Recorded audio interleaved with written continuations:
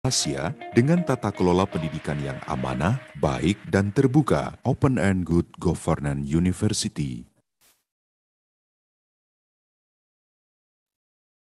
Pamekasan adalah salah satu kabupaten di Madura yang memiliki tekad kuat untuk memajukan dunia pendidikan. Hal itu dibuktikan dengan diproyeksikannya Pamekasan sebagai kabupaten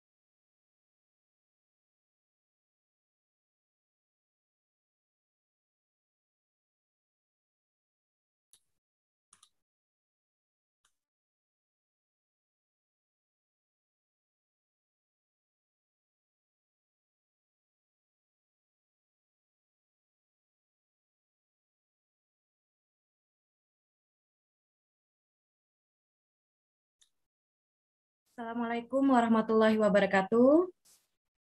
Selamat pagi dan selamat datang kepada Bapak Ibu peserta Senias tahun kelima.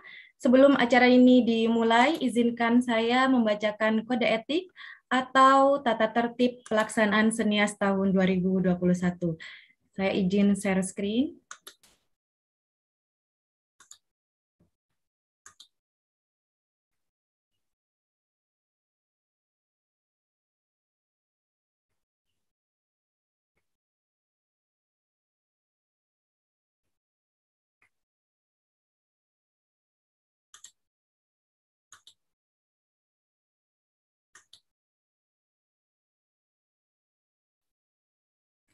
Baik, Bapak Ibu sekalian, inilah tata tertib Senias tahun 2021 sebagaimana pelaksanaan pertemuan online lainnya. Eh, kita punya kode etik yang perlu kita eh, perhatikan supaya acara bisa berjalan lancar hingga akhir nanti. Yang pertama, peserta wajib menggunakan nama asli sesuai dengan nama yang telah didaftarkan untuk mempermudah dalam verifikasi kehadiran oleh panitia dan pada saat tanya jawab berlangsung. Bapak Ibu bisa menuliskan nama peserta, kemudian diikuti dengan institusi. Selanjutnya, para peserta dimohon untuk menggunakan busana yang sopan saat on kamera dan menggunakan virtual background yang sudah disediakan oleh panitia. Selanjutnya, peserta wajib mematikan suara atau memute selama berlangsungnya kegiatan seminar, terutama agar paparan yang disampaikan oleh keynote speaker kita dapat tersampaikan dengan baik. Selanjutnya, peserta dapat mengajukan pertanyaan saat sesi tanya jawab melalui fitur chat dengan terlebih dahulu menuliskan nama, institusi, kemudian narasumber yang dituju, kemudian dilanjutkan dengan pertanyaan. Bapak Ibu juga bisa mengajukan pertanyaan secara langsung dengan terlebih dahulu uh, menggunakan fitur raise hand.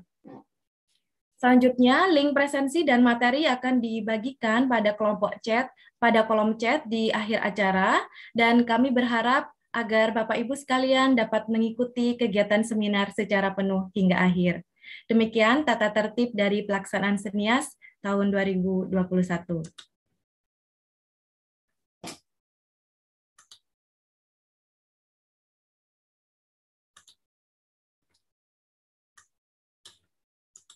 Kita mulai Bapak Ibu. Assalamualaikum warahmatullahi wabarakatuh. Yang terhormat pengasuh Pondok Pesantren Miftahul Ulum Petet Pamekasan sekaligus Ketua Yayasan Universitas Islam Madura beserta para majelis keluarga. Yang kami hormati Rektor Universitas Islam Madura beserta jajaran Wakil Rektor. Yang kami hormati para dekan, wakil dekan, ketua prodi, dan kepala unit kerja di lingkungan Universitas Islam Madura. Yang kami hormati dan kami banggakan, keynote speaker senias tahun ini, yaitu Bapak Ahmad Saifuddin, SSI MPhil PhD, Beliau adalah Ketua LPPM Universitas Nahdlatul Ulama Surabaya. Beliau pada saat ini menggantikan keynote speaker kita yaitu Profesor Dr. Insinyur Muhammad Nuh yang pada saat ini kebetulan berhalangan hadir serta yang terhormat keynote speaker kita lainnya yaitu Bapak Dr. Haji Saiful Hadi MPD. Beliau adalah Ketua LPMI Institut Agama Islam Negeri Madura dan yang kami hormati para peserta senias tahun 2021 yang berbahagia. Selamat pagi, salam sehat dan sejahtera bagi kita semua. Puji syukur marilah kita panjatkan kepada Allah Subhanahu wa taala karena atas limpahan rahmat dan karunia-Nya kita dapat bersilaturahim secara virtual di dalam acara tahunan kami yaitu Senias yaitu Seminar Nasional Hasil Pengabdian Masyarakat tahun kelima yang diselenggarakan oleh Lembaga Penelitian dan Pengabdian Masyarakat Universitas Islam Madura. Senias tahun ini mengusung tema meneguhkan peran perguruan tinggi untuk mendorong produktivitas masyarakat di masa pandemi. Salawat serta salam juga marilah kita panjatkan kepada junjungan kita Nabi besar Muhammad Sallallahu Alaihi Wasallam yang sangat kita harapkan syafaatnya kelak di hari kiamat nanti. Bapak Ibu hadirin yang kami hormati, agar acara pada pagi kali ini dapat berjalan dengan lancar, tidak ada kendala satu apa pun, serta membawa banyak keberkahan bagi kita semua, marilah kita awali acara pada pagi kali ini dengan membacakan basmalah bersama-sama. Bismillahirrahmanirrahim. Terima kasih. Selanjutnya untuk mengobarkan nasionalisme kita, marilah kita menyanyikan lagu Indonesia Raya kepada yang bertugas kami persilahkan.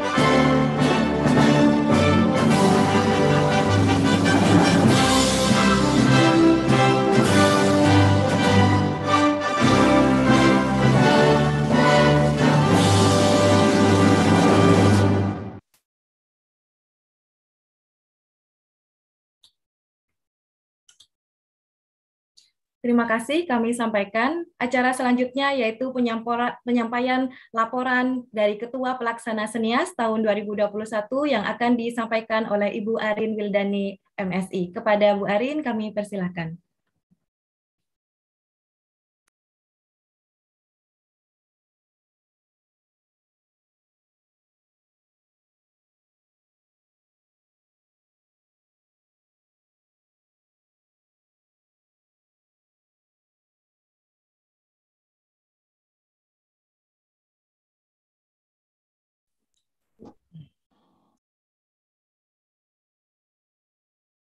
Assalamualaikum warahmatullahi wabarakatuh. Yang terhormat pengasuh Pondok Pesantren Miftahul Ulum Betet Pamekasan sekaligus Ketua Yayasan Universitas Islam Madura beserta para majelis keluarga. Yang kami hormati Bapak Rektor Universitas Islam Madura beserta para jajaran Wakil Rektor Universitas Islam Madura. Yang saya hormati Ketua LPPM UIN, para dekan, wakil dekan, para ketua prodi, dan para kepala unit kerja di lingkungan Universitas Islam Madura. Dan yang saya hormati pula pemateri senias tahun ini, yaitu Bapak Ahmad Saifuddin SSIM Phil PhD, dan Bapak Dr. Haji Saiful Hadi MPD, serta yang saya hormati pula para peserta senias, baik pemakalah dari unsur dosen dan mahasiswa, serta para peserta senias tahun 2021.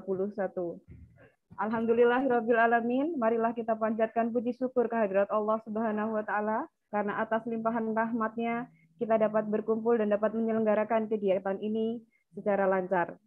Izinkan saya selaku Ketua Pelaksana pada kegiatan ini untuk melaporkan beberapa hal yang berkaitan dengan kegiatan ini. Kegiatan Seminar Nasional Hasil Pengabdian Masyarakat ini merupakan kegiatan tahun kelima yang biasa dilaksanakan oleh Lembaga Penelitian dan Pengabdian Masyarakat Universitas Islam Madura. Tahun ini, Senias mengangkat tema meneguhkan peran perguruan tinggi untuk mendorong produktivitas masyarakat di masa pandemi. Bentuk kegiatannya dilakukan secara webinar dengan sasaran peserta seluruh dosen di Indonesia beserta mahasiswa UIM. Pelaksanaan kegiatan ini dilakukan secara live melalui Zoom meeting dan live streaming YouTube dengan rincian peserta sebagai berikut. Pemakalah terdiri dari 39 orang pemakalah dan peserta enam orang dari luar serta 300 mahasiswa Universitas Islam Madura. Pemakalah dan peserta terdiri dari berbagai perguruan tinggi di Indonesia antara lain Universitas Islam Madura selaku pelaksana kegiatan ini, kedua Universitas Selamat Riyadi Surakarta, Unisri, ketiga Universitas Trunojoyo Madura, Institut Diroya Islamiyah Al-Amin Perenduan Sumeneb, Universitas 19 November Kolaka, Universitas Kiai Haji Wahab Hasbullah, Universitas Duta Bangsa Surakarta, Universitas Widyagama Malang, Universitas Wiraraja Sumeneb, Universitas Nahdlatul Ulama Surabaya, Universitas Mulawarman Samarinda, Politeknik Kelautan dan Perikanan Boni, Universitas Flores, serta Akafarma Banda Aceh. Dari seluruh perguruan tinggi yang terlibat, sudah, melalui, sudah meliputi beberapa wilayah, yaitu Madura, Pamekasan, Sumeneb, dan Bangkalan, Jatim, Surabaya, Jombang, dan Malang, Jawa Tengah, Surakarta, Kalimantan, Samarinda, Sulawesi, Kabupaten Kolaka, Sulawesi Tenggara, serta Kabupaten Boni, Sulawesi Selatan, Sumatera, Banda Aceh, serta dari Flores, NTT. Saya selaku Ketua Pelaksana mengucapkan banyak terima kasih atas partisipasi dari peserta, para undangan, para pimpinan di lingkungan Universitas Islam Madura. Mohon maaf sebelumnya jika pada kegiatan ini terdapat banyak kekurangan baik dalam hal pelayanan dari panitia ataupun nanti yang berkaitan dengan jaringan. Kami juga sampai mengucapkan mohon maaf karena keynote speaker yang sedianya harusnya Prof. Dr. Insinyur Kiai Haji Muhammad Nuh DEA tidak bisa hadir hari ini sehingga didisposisikan terhadap Ketua LP2M UNISA, UNUSA, yaitu Bapak Dr. Ahmad Saifuddin, SSI MPhil PhD. Demikian laporan dari saya atas kurang lebihnya mohon maaf. Wassalamualaikum warahmatullahi wabarakatuh. Waalaikumsalam warahmatullahi wabarakatuh. Terima kasih kami sampaikan kepada Bu Arin. Untuk acara selanjutnya yaitu sambutan yang akan disampaikan oleh Rektor Universitas Islam Madura sekaligus membuka acara senia secara resmi. Kepada yang terhormat Bapak Ahmad SAG MPD, kami persilakan. Assalamualaikum warahmatullahi taala wabarakatuh. Bismillahirrahmanirrahim. Alhamdulillahirabbil alamin. Wa bihi nasta'inu ala umuri dunya waddin. Wassalatu wassalamu ala asyrafil anbiya wal mursalin. Sayyidina Muhammad wa ala alihi wa sahbihi ajma'in. Amma ba'du. Hadratal mukarramin, para alim, para ulama, pengasuh pondok pesantren Miftahul Ulum Petet Pamekasan sekaligus ketua yayasan Universitas Islam Madura dan majelis keluarga keluarga besar pondok pesantren Miftahul Ulum Petet Pamekasan alladzi sami'na wa ta'na jajaran rektorat dan fakultas sivitas akademika Universitas Islam Madura. Juga kami hormati serta muliakan wabil khusus para narasumber dalam hal ini Rawuh juga bersama kita, saudara kita, dan juga orang Madura juga. Dr. Ahmad Syafiuddin ini yang sering ke Universitas Madura yang uh, memberikan bimbingan terkait dengan penelitian dan jurnal ilmiah. Dan tentunya juga digandeng dengan Dr. Haji Saiful Haji juga beliau merupakan uh, salah satu dosen Universitas Madura dan perintis ini Pak Saifuddin, Bapak Saiful Hadi ini. Kata reng maturah benga sepo saja. Ini alhamdulillah semuanya uh, sempat hadir walaupun dalam uh, daring tentunya dengan tidak mengurangi rasa hormat kepada semua Mudah-mudahan Allah tetap memberikan kesehatan dalam situasi pandemi COVID-19 ini. Mudah-mudahan Allah cepat mengangkat dari bumi Nusantara ini. Amin ya Rabbal Alamin. Nah, selanjutnya kami hormati para peserta ini yang telah disebut oleh panitia banyak di luar Jawa Pak Syafiuddin dengan Pak Syukul Hadi. Ini luar biasa berkat dukungan Pak Semyodin akan tetapi Pak Semyodin ini nyelep kata orang Madura. Kok sampai jadi MB2 MU Nusa? Padahal Nusa ini masih untuk kenal Pak Semyodin kan kemarin. Tapi saya yakin karena sama-sama karakter Madura dengan Islam Madura UIM ini mudah-mudahan tidak ditinggalkan oleh Pak Sabiotin ini. Mudah-mudahan.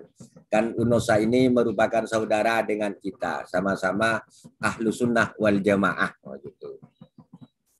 Yang terhormat para peserta, utamanya di sini hadir dari Jawa Timur tentunya, uh, Surabaya, Jombang, dan Malang, uh, daerah Jawa juga, Jawa Tengah, Eh, Surakarta, dan Kalimantan juga hadir. Selamat datang di kampus Hijau Universitas Madura dalam keadaan daring ini. Kalimantan, Samarinda, dan Kalimantan Timur. Selamat datang. Dari Sulawesi, yaitu Kabupaten Kulaka, Sulawesi Tenggara, dan Kabupaten Boni, Sulawesi Selatan. Terus dari Sumatera, yaitu Banda Aceh dan Aceh. Flores Entity dari Flores ini uh, perguruan tinggi apa saya lupa karena sudah ada kerjasama Universitas Flores dengan Islam Madura yang dilaksanakan di Universitas Islam Malang pada tahun 2019 kemarin. Ini semua berkat silaturahim uh, kita pada waktu itu sebelum masa pandemi tahap pertama dilaksanakan di Universitas Islam Malang. Akan tetapi nantinya kita bisa jalin kerjasama menurut dengan luring ketika nanti uh, pandemi ini uh, sudah normal kembali. Mudah-mudahan amin ya robbal alamin. Bapak dan Ibu sekalian yang saya hormati, atas nama pimpinan Universitas Madura Pertama menyampaikan ahla wa sahlan bihudurikum di kampus hijau Universitas Islam Madura walaupun dalam keadaan daring. Akan tetapi tidak mengurangi rasa hormat kita kepada semua peserta baik dari Jawa maupun di luar Jawa. Utamanya para bapak narasumber. Memang kemarin setelah koordinasi dengan Pak Nuh, Pak Nuh ini masih wanti-wanti Pak Sofiuddin. Karena beliau itu orang sibuk uh, untuk masyarakat juga itu loh. Maka alhamdulillah yang uh, tepat pada Maturana istilahnya alhamdulillah ini. Ya, uh, yang kedua atas nama pimpinan Universitas Madura menyampaikan terima kasih yang sebesar-besarnya kepada semua peserta khususnya uh, Pulau Jawa dan di luar Pulau Jawa, NTT dan sebagainya yang telah ikut berpartisipasi dalam kegiatan Sanias 2001 ini. Senias di UIM ini merupakan tahun kelima. Oleh karena itu, dari hasil pengabdian pada masyarakat yang dilaksanakan oleh mahasiswa Yunus Salam Madura tadi seminarkan ini merupakan tahun kelima. Mudah-mudahan ilmu yang didapat di tempat KKN karena kemarin ini KKN tematik berbasis program studi. Oleh karena itu, dalam tema ini tentunya bagaimana situasi apa pun dalam keilmuan ini tidak mengenal kendala, baik masa pandemi, COVID dan sebagainya. Insya Allah ini dilakukan dengan semuanya dengan ikhlas, dengan penuh ikhtiar. Ah, mudah-mudahan ini semua ilmu yang didapat di lapangan barokah untuk umat. Amin ya rabbal alamin. Yang kedua, Alhamdulillah juga dan terima kasih kepada semua peserta. Ini bisa nanti ditindaklanjuti dalam rangka MBKM ini. Jadi Merdeka Belajar dan Kampus Merdeka termasuk Pak Sebiuddin ini dan Pak Sipul Hadi tentunya mengawal dari penelitian, pengabdian pada masyarakat dan jurnal ilmiah tentunya apalagi Pak Sebiuddin mengarah pada Sakopus nantinya Pak. Mohon arahan karena ini semua sangat dibutuhkan oleh perguruan tinggi. Pak Sebiuddin ini kalau saat mangkalnya atau humbisnya Malaysia, Pak ya. UTM. Tapi kok kok bisa ada di UNOSA begitu. Ya ini tentunya berkat silaturahim kita mudah-mudahan pelaksanaan Senias 2001 ini juga diberikan kelancaran oleh Allah Subhanahu wa taala sehingga ilmu yang didapat dari narasumber dari yang lain ini merupakan kemajuan untuk lembaga kita bersama. Amin ya rabbal alamin. Yang terakhir atas nama pimpinan Universitas Madura mohon maaf yang sebesar-besarnya jika ada hal-hal yang kurang berkenan baik uh, layanan utamanya yang disampaikan oleh panitia karena layanan virtual termasuk mungkin jaringan kurang sempurna akan tetapi kita semua berusaha semaksimal mungkin. Dan uh, pelaksanaan daring ini tidak mengurangi sebagaimana pelaksanaan luring utamanya ilmunya. Mudah-mudahan Allah juga memberikan kesehatan pada kita semua uh, bisa kita melakukan apa yang telah akan dihadapi ini termasuk pelaksanaan seminar pada kali ini. Terakhir, uh, sebelum kita tutup, marilah acara Senias 2001 ini kita buka dengan pembacaan basmalah bersama-sama. Bismillahirrahmanirrahim. Demikian mohon maaf dari pribadi kami jika ada hal yang kurang berkenan mohon maaf. Wallahul muwaffiq ila aqwamit thoriq. Wassalamualaikum warahmatullahi taala wabarakatuh.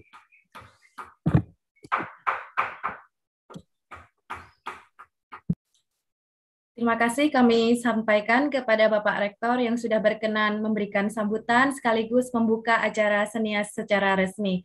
Acara selanjutnya yaitu agar seminar ini dirahmati oleh Allah dan mendapatkan limpahan hidayah dari Allah Subhanahu wa taala. Marilah kita berdoa sejenak Doa akan dipimpin oleh Bapak Dr. Supandi MPDI selaku Wakil Rektor 3. Kepada yang terhormat Bapak Dr. Supandi kami persilakan.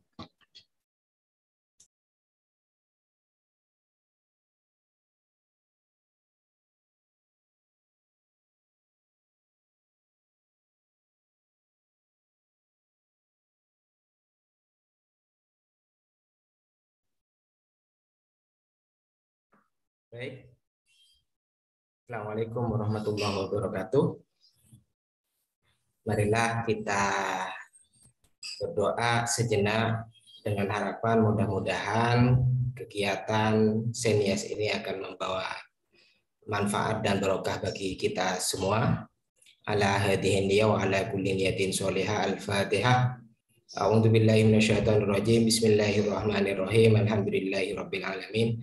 Ar-Rahmanir Rahim Maliki Yaumiddin. Iyyaka na'budu wa iyyaka nasta'in. Ihdinas siratal mustaqim. Siratal ladzina an'amta 'alaihim ghairil maghdubi 'alaihim waladdallin amin. Ajmain. Bismillahirrahmanirrahim. Alhamdulillahi rabbil alamin. Wassalatu wassalamu ala sayyidina Muhammadin. Sholatan tunjina biha min jami'il ahwali wal afat wa tadhiruna biha min jami'il hajat wa tutahhiruna biha min jami'is sayyi'at wa tarfa'una biha indaka 'ala darajat wa tuballighuna biha aqsal hayat min jami'il khairati fil hayat wa ba'dal mamat Allahumma ufir lana dunubana wa illam taghfir lana wa tarhamna lanakunanna minal khasirin. Rabbana hab lana min azwajina wa dhurriyyatina min ibadikal muttaqin bi rahmatika ya arhamar rahimin.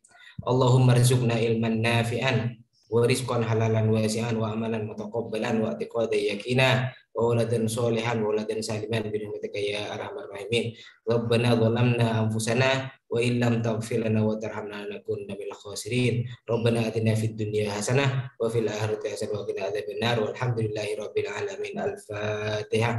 A'udzu billahi minasyaitonir rajim. Bismillahirrahmanirrahim. Alhamdulillahi rabbil alamin. Arrahmanir rahim. Maliki yaumiddin. Iyyaka na'budu wa iyyaka nasta'in. Ihdinas siratal mustaqim. Siratal ladzina an'amta 'alaihim ghairil maghdubi 'alaihim. Amin. Assalamualaikum warahmatullahi wabarakatuh.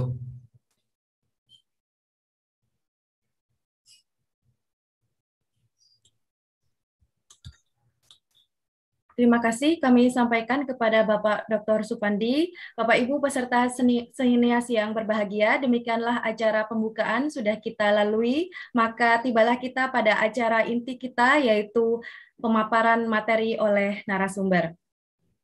Bapak Ibu hadirin yang berbahagia, sebagai bentuk pelaksanaan dari Tridharma Perguruan Tinggi, kita sudah mengetahui bahwa para akademisi memiliki kontribusi yang sangat penting bagi pemberdayaan masyarakat.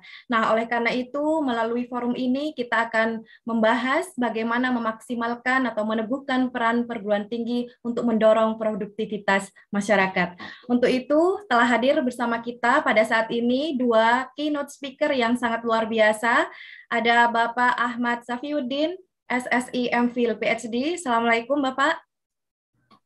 Waalaikumsalam warahmatullahi Sehat, Pak Udin? Alhamdulillah, alhamdulillah. Pak Syafiuddin, dari mana Kamatura? Kamatura Keluh. insya Allah, insya Allah Pak Rektor. Kamu kini Malaysia, apa dari Nusa? Nusa, Nusa. Oh. siap, siap. Nampaknya Pak Rektor sudah kangen ini Pak Udin, minta iya. disambangi. Iya, iya. Insya Allah, insya Allah. Dan ada juga keynote speaker kita yang lainnya, ada Bapak Dr. Haji Saiful Hadi, MPD. Apa Bapak sudah eh, bergabung bersama kami, Bapak? Assalamualaikum. Pak Dr. Saiful Hadi mana ini, Pak Dr. Saiful Hadi? Mohon izin Pak Saifuddin, ada acara di NU nanti saya ini sekarang. Mohon izin. Baik, baik Pak Rektor. Terima ya. kasih. Launching Hasan 2001. Oh, Hari santri ya. Terima kasih mohon maaf. Assalamualaikum. Assalamualaikum. Uh, baik Bapak Ibu sekalian, untuk pemaparan materi nanti akan dilakukan secara uh, paralel, jadi akan disampaikan oleh pemateri pertama terlebih dahulu, kemudian dilanjutkan oleh keynote speaker yang kedua, baru setelah itu akan dibuka sesi tanya jawab untuk Bapak Ibu sekalian. Uh, jadi untuk yang ingin bertanya, kami persilahkan bisa sambil menuliskan pertanyaannya di kolom chat atau uh, menggunakan fitur raise hand supaya kami bisa tunjuk supaya bisa uh, bertanya secara langsung kepada narasumber. Untuk itu kita undang saja langsung pemateri yang pertama ada Bapak Ahmad Safiuddin sudah siap ini memberikan materinya kepada kita, tapi sebelum itu izinkan saya menunjukkan atau membacakan sekilas CV beliau. Kata orang kan tak kenal maka tak sayang. Saya tunjukkan dulu.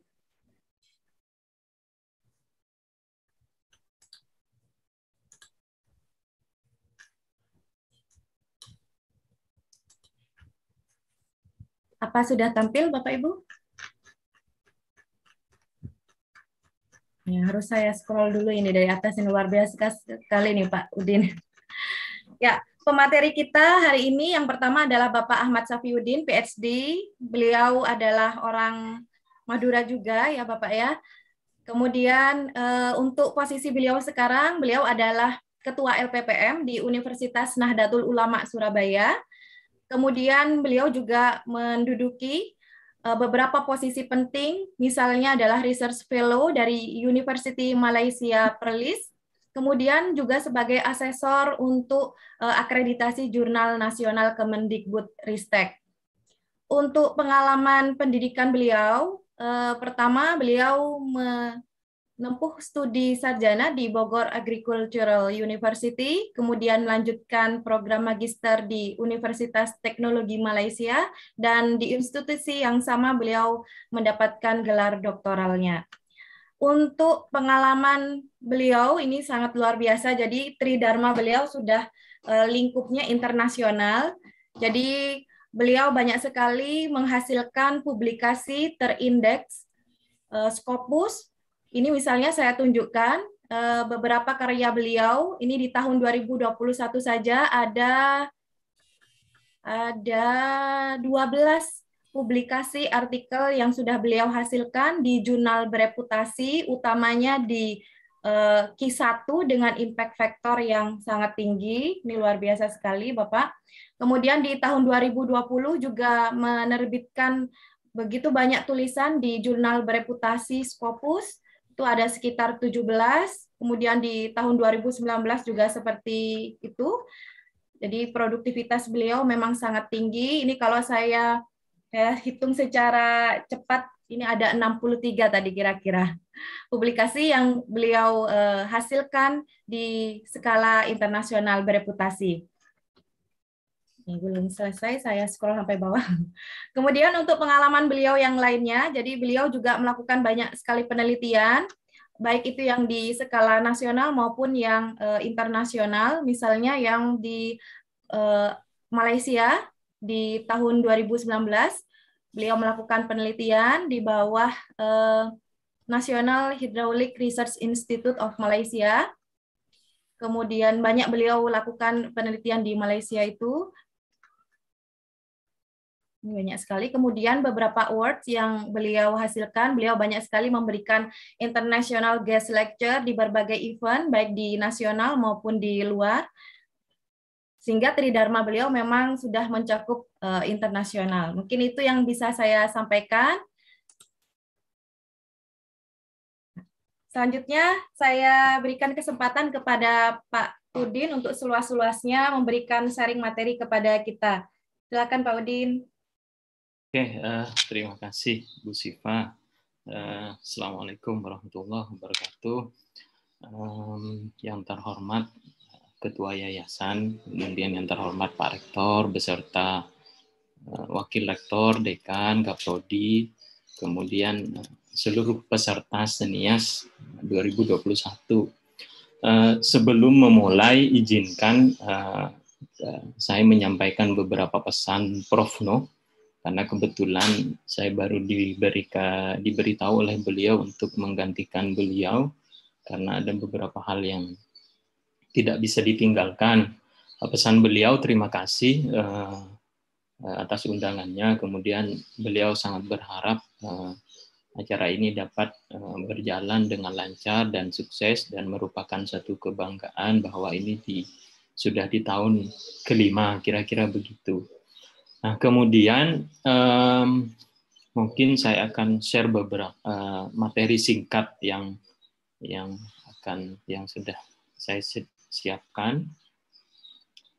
Oke, uh, lihat ya, uh, Bu Siva ya. Bisa terlihat Bapak dengan jelas. Ah, terima kasih. Um, sebelumnya mungkin uh, agak agak jadi beban untuk saya sebetulnya menggantikan beliau karena mungkin uh, apa yang akan disampaikan beliau Prof. No uh, jauh lebih dari apa yang yang saya siapkan. Tapi prinsipnya ada beberapa poin yang beliau minta minta disampaikan. Nah, kemudian um, pagi ini uh, saya akan sedikit sharing mengenai beberapa pengalaman, mungkin tidak ruang lingkupnya tidak terlalu uh, luas, hanya beberapa spesifik yang pernah dikerjakan dan beberapa ide-ide yang bisa dikerjakan oleh seluruh universitas yang sekarang bergabung di Senias. Nah, yang yang saya sedikit singgung terkait uh, peran universitas dalam dua hal yaitu riset dan pengabdian masyarakat karena dua hal ini sebetulnya tidak bisa dipisahkan. Nanti saya akan cerita bagaimana dua hal ini uh, menjadi satu.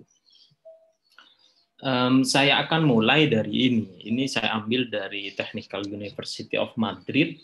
Uh, secara umum bahwa uh, sebetulnya kita harus sadari atau mengingat kembali apa misi universitas sebetulnya yaitu terkait dengan uh, education kemudian knowledge generation atau kemudian yang selanjutnya itu adalah transfer knowledge.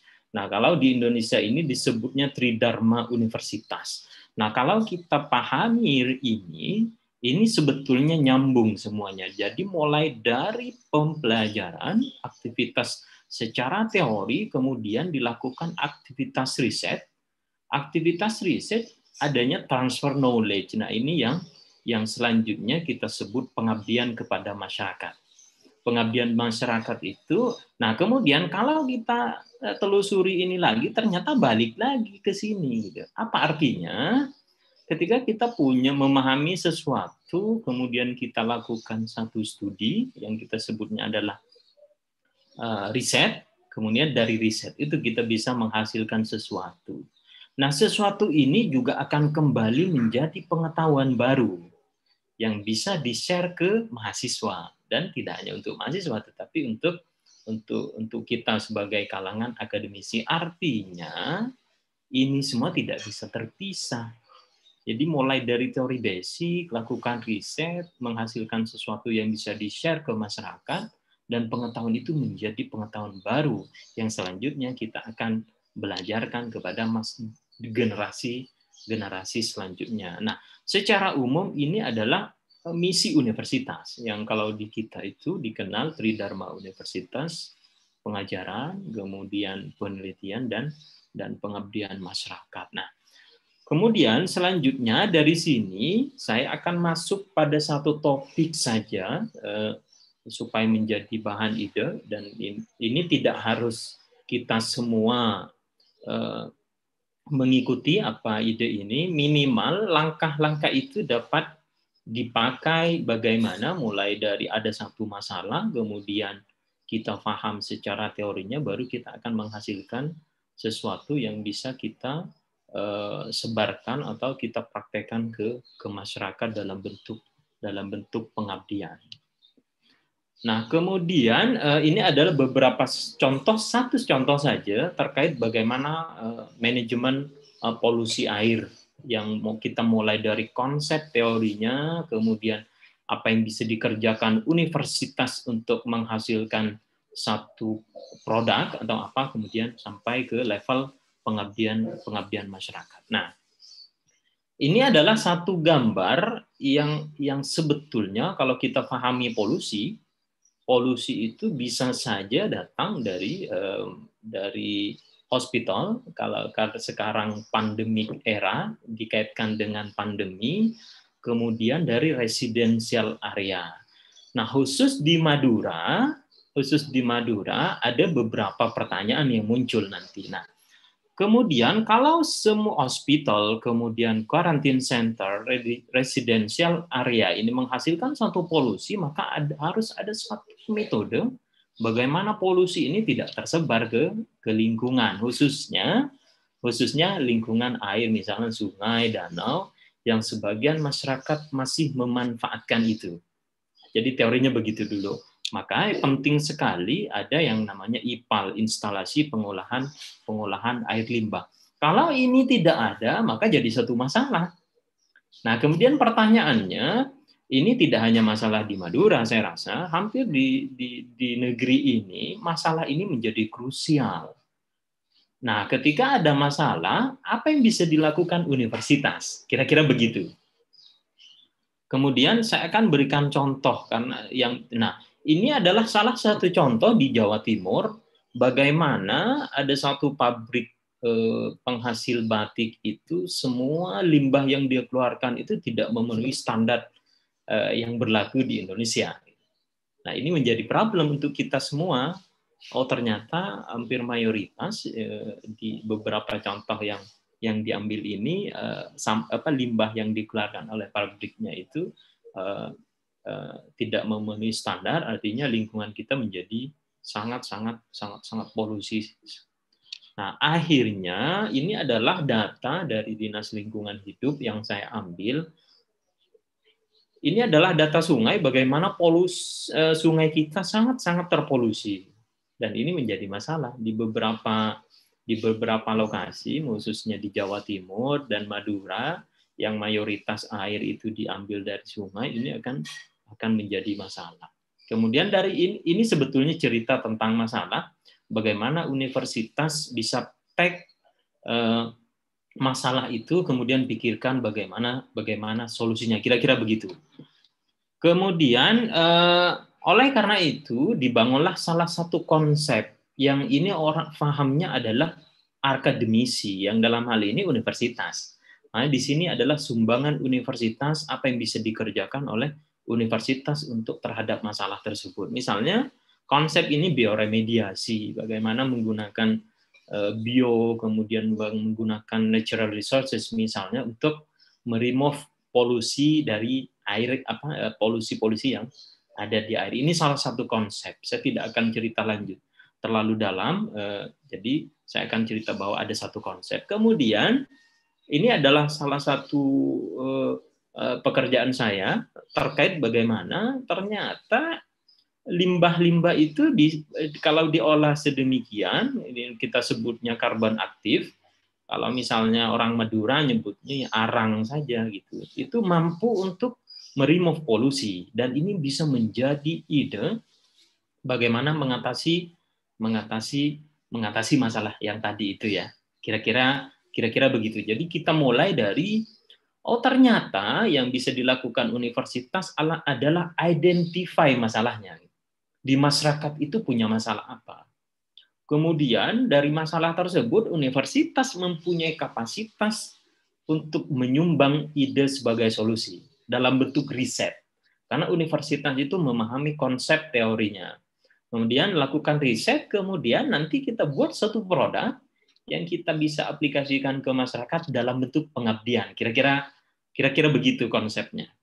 Nah, kemudian dari sini apa yang bisa dikerjakan oleh universitas ini adalah salah satu metode yang yang selalu saya utarakan untuk untuk beberapa universitas dan ini akan bisa menjadi banyak ide sekali apakah ide PKM, ide pengabdian masyarakat yang sangat murah dan bisa diaplikasikan di mana saja. Kita sebutnya slow sand filtration. Jadi filtrasi air hanya menggunakan pasir gitu.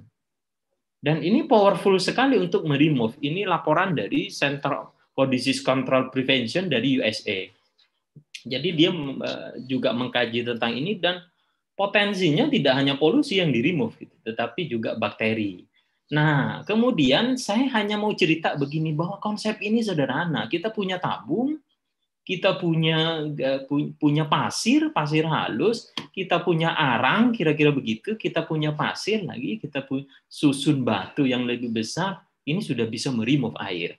Pertanyaannya, saya berikan contoh begini di Madura. Apakah konsep ini bisa diaplikasikan di mana? Bisa. Apakah mudah untuk dilakukan di masyarakat? Bisa hanya perlu training. Kita tinggal kita punya drum, kita susun pasir-pasir seperti ini. Nah, konsep ini bagaimana datangnya Pak? Bagaimana cara menyusunnya? Bagaimana efektivitasnya? Itu adalah tugas universitas untuk menjawabnya. Jadi ini didesain oleh universitas, kemudian lakukan riset bagaimana efektivitasnya untuk polusi air tadi, kemudian kita buat portable-nya. Dan ini yang kami lakukan dulu di UTM untuk masalah Eh, masalah arsenik di Kamboja. Jadi kami diundang untuk satu masalah satu negara di arsenik di Kamboja. Jadi di Kamboja itu ada eh, banyak kawasan yang kandungan arseniknya air apa air sungainya kemudian air sumurnya itu sangat tinggi dan itu berpotensi berbahaya. Dan pengalaman saya di Madura, khususnya di kampung saya, ketika kita ngambil air sumur itu, kalau diendapkan beberapa lama itu menjadi kuning. Dan itu kandungan eh, salah satunya polusi. Dan itu kalau dikonsumsi dalam jangka panjang, dan banyak dari masyarakat kami, khususnya di Madura, itu masih mengkonsumsi secara langsung dari sumur. Gitu. Dan jika lama-kelamaan, maka potensi bahayanya, cancer dan sebagainya itu juga akan muncul. Eh, tapi nggak bisa mati secara langsung. Memang polusi itu tidak mati dalam eh, short term, tetapi dia long term. Dan itu sangat berbahaya. Dan kemudian apa yang dilakukan universitas? Salah satunya konsep ini. Konsep ini bisa ditawarkan jadi PKM, bisa ditawarkan pengabdian masyarakat kepada dikti. Idenya sederhana, tinggal cari mana desa yang punya masalah yang tadi. Kemudian kita bangun itu sebagai bahasa diktinya itu sebagai sebagai desa binaan. Kira-kira begitu konsepnya. Nah, kemudian saya akan berikan satu gambar, eh, apa satu video, video singkat ya, eh, bagaimana konsep ini dipakai gitu dan eh, dan apa eh, cukup powerful dari yang airnya kotor kemudian jadi bersih. Nanti saya akan cerita masalah di Madura. Kita lihat dulu bahwa konsep ini powerful. Kira-kira begitu. Eh, di menit saya akan tunjukkan langsung saja supaya tidak lama-lama di di menit ini. Oke. Kira-kira ini. Jadi terlihat bahwa dengan konsep sederhana, ini airnya awal air keruh, yang dari air sungai, banjir, dan sebagainya itu ternyata bisa jadi bersih. Hanya konsep sederhana yang bisa dipraktekkan di desa-desa. Dan ini bisa mengatasi masalah-masalah krisis air bersih di Madura, tidak hanya di Madura, di desa eh, di desa lain eh, yang yang join Senias ini. Ini konsepnya. Kemudian saya akan berikan contoh lagi, nanti video fullnya bisa kalian baca, bisa kalian lihat di sini. Di YouTube itu saya tidak akan tunjukkan. Kemudian eh, bagaimana di akhir itu 1837, nah ini bisa diminum.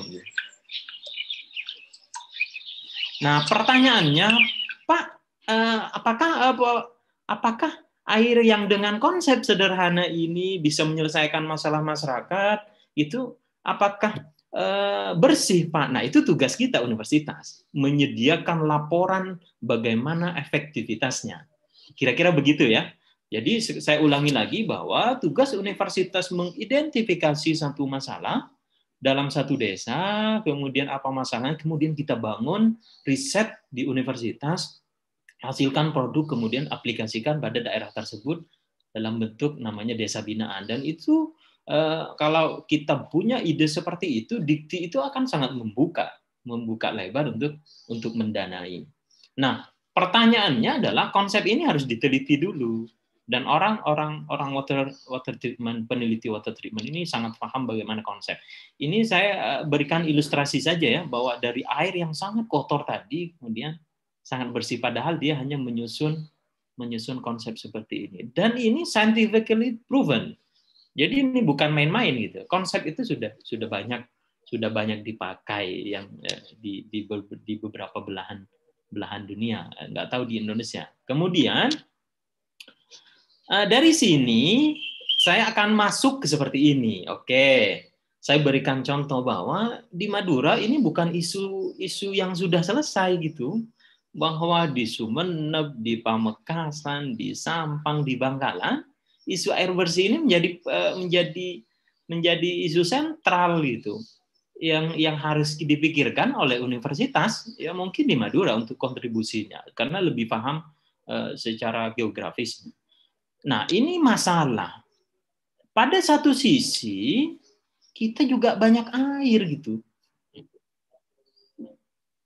Pada satu sisi orang susah air bersih, pada satu sisi banjir. Nah, kenapa air itu tidak dimanfaatkan? Nah, konsep water treatment tadi itu eh, tidak hanya untuk surface water ya, tidak hanya air air permukaan seperti sungai, kemudian dam dan sebagainya, tetapi juga air hujan.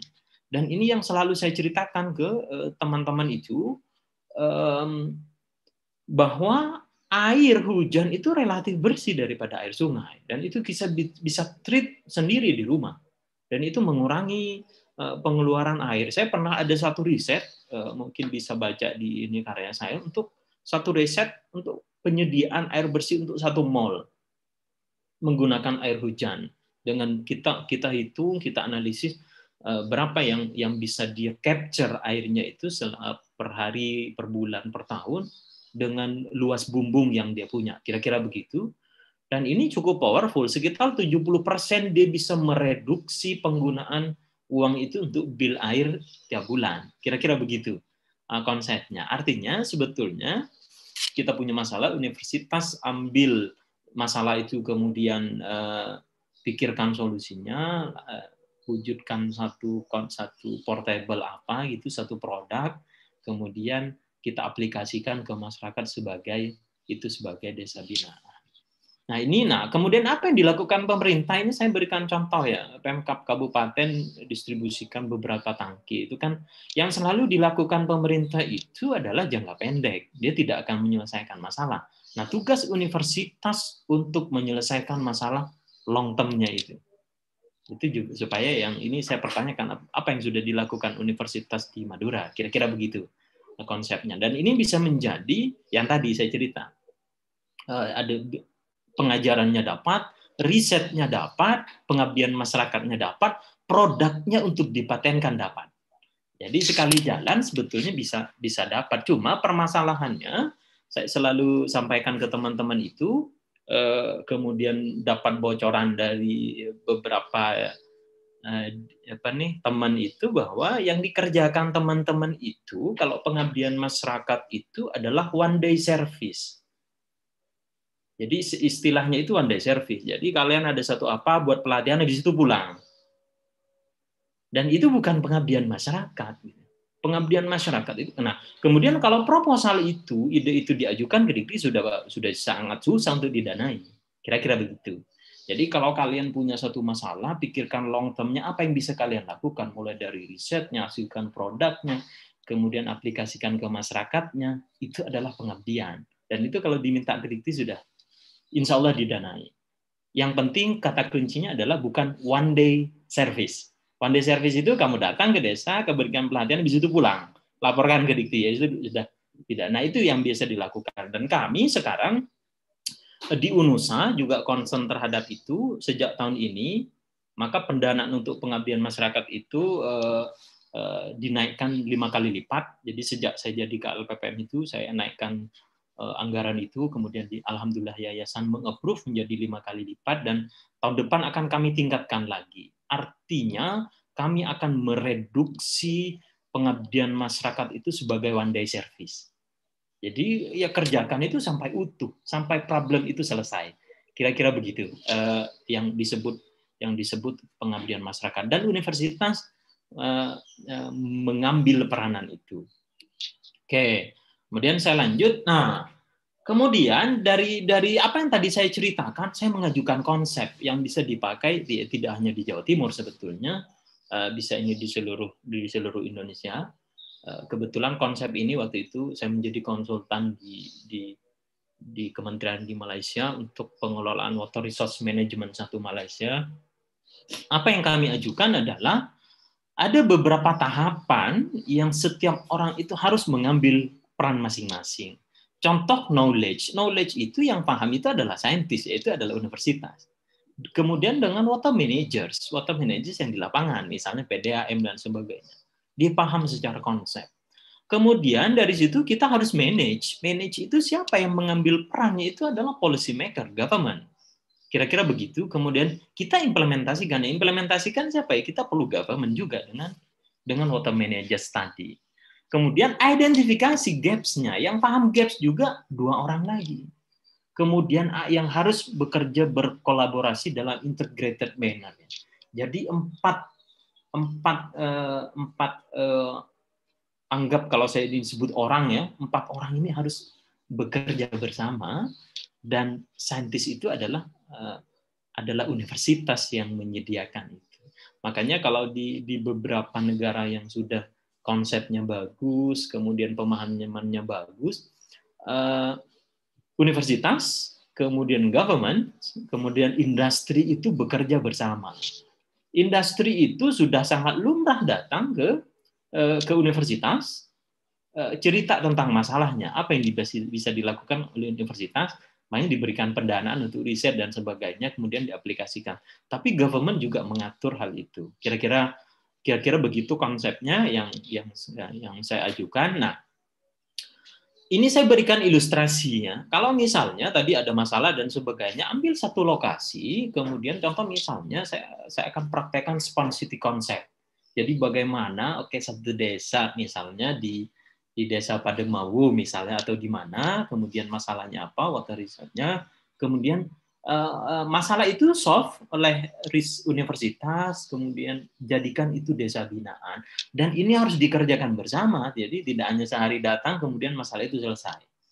Dan ini saya berikan satu contoh bagaimana Spawn City konsep, konsep itu dipraktekkan di dalam di dalam satu lokasi, bagaimana air hujannya dimanfaatkan, bagaimana air sungainya dimanfaatkan, bagaimana limbah itu di manage gitu, kira-kira mungkin ujungnya itu jadi green city, kira-kira kira-kira begitu. Dan ini bisa dilakukan. Dan ini adalah pengabdian kita universitas ke ke, ke masyarakat.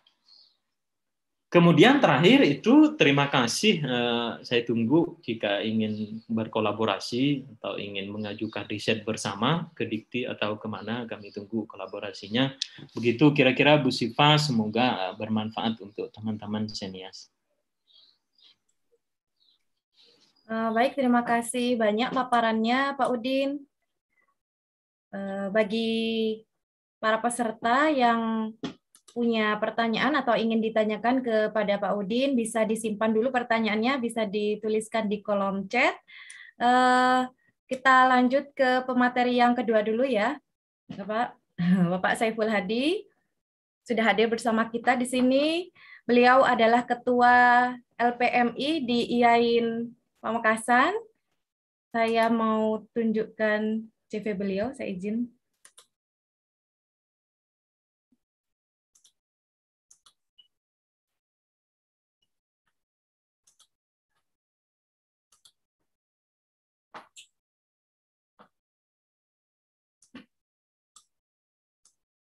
Baik, jadi untuk keynote speaker kita, ini juga uh, guru kita, Bapak Dr. Haji Saiful Hadi MPD.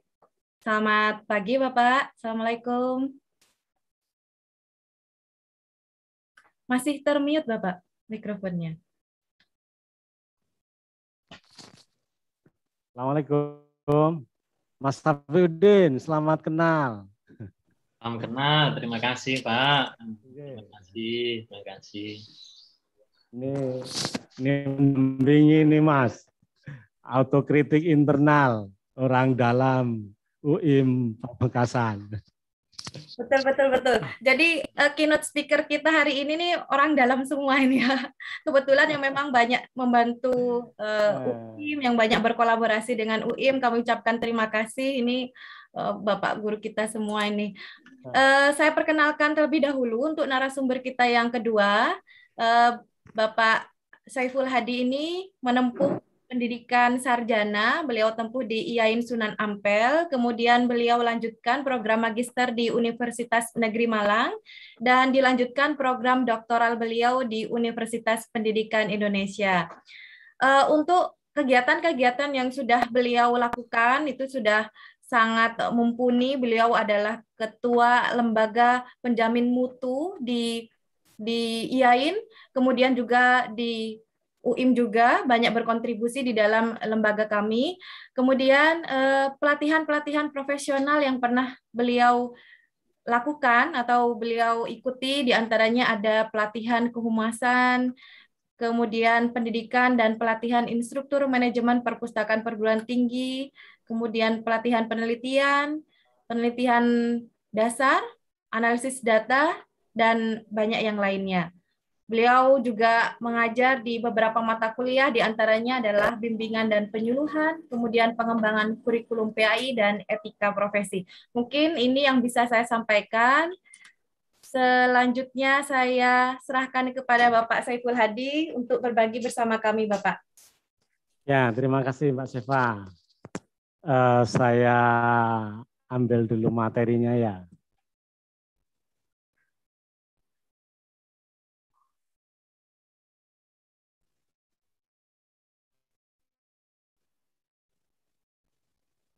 Uh, sekali lagi, Assalamualaikum warahmatullahi wabarakatuh. Menarik saya memperhatikan dan menyimak materinya Mas Ahmad Safiuddin.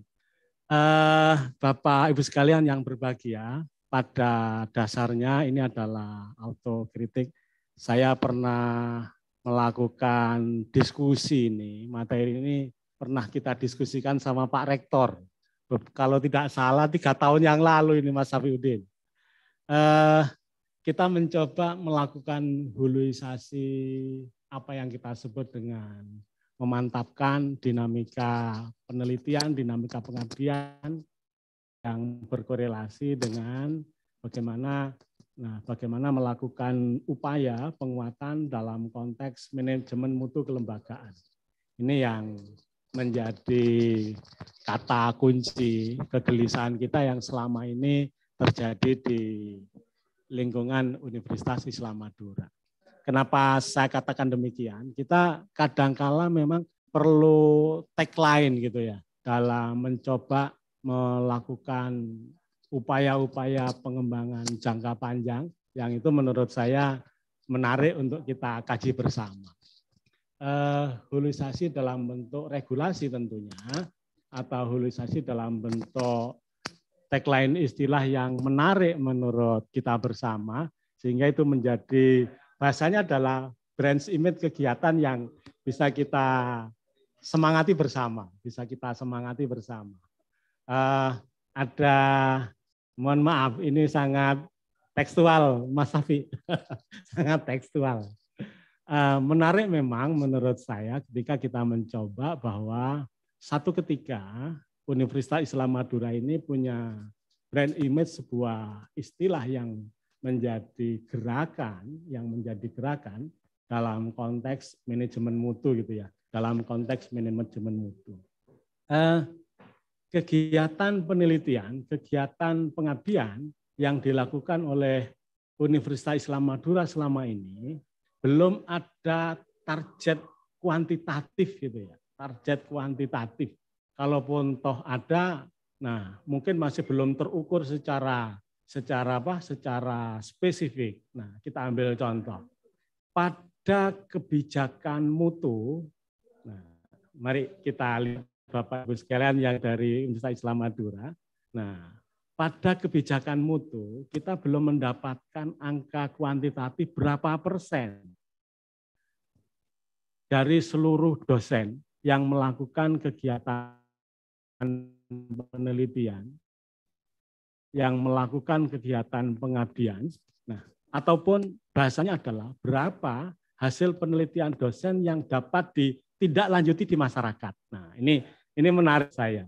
Seperti tuntutan dari Mas Hafiuddin tadi itu bahwa kegiatan-kegiatan riset yang dilakukan ini akan berdampak secara masif terhadap perubahan-perubahan kehidupan yang ada di masyarakat. Nah, kalau ini kita tetapkan menjadi sebuah catatan bahwa ada kerangka manajemen mutu yang ditetapkan oleh oleh apa? oleh universitas, maka saya yakin bahwa pada saat ini jadi kalau kita lihat gitu ya, ada problem yang besar di masyarakat.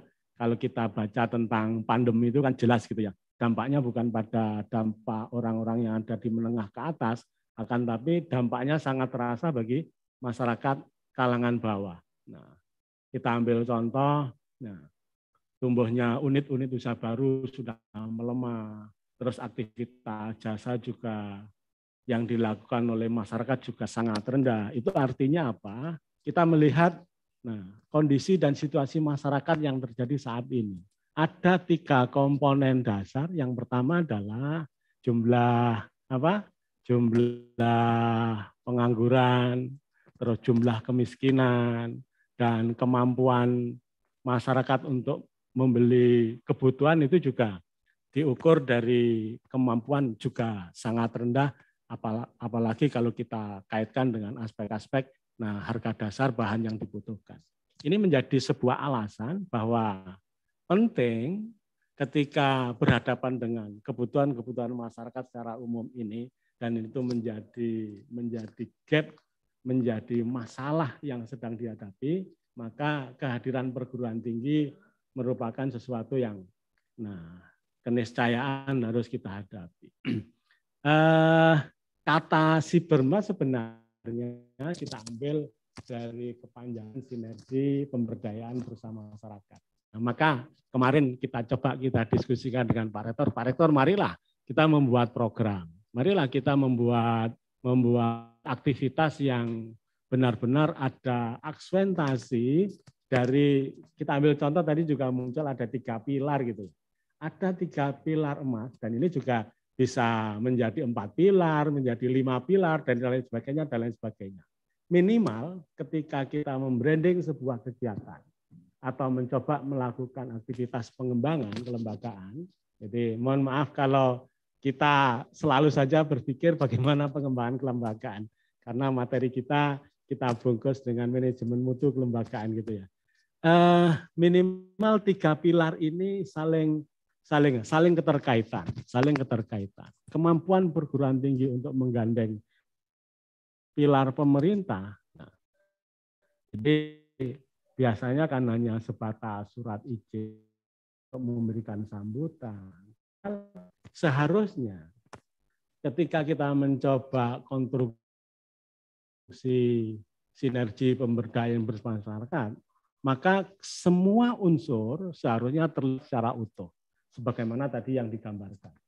Jadi stakeholder stakeholder dalam kegiatan pemberdayaan itu saling berkontribusi, tidak hanya sebatas live service dalam konteks nah memenuhi kebutuhan masyarakat, akan tapi ada tanggung jawab secara utuh, ada program yang dilakukan juga secara utuh dari hulu sampai kepada kepada hilir, sehingga aspek ini Nah, ketika kita mencoba membuat istilah sibermas, nah, maka ada alur yang dilakukan secara bertahap sampai bertemunya universitas dengan pemerintah itu melakukan kerjasama.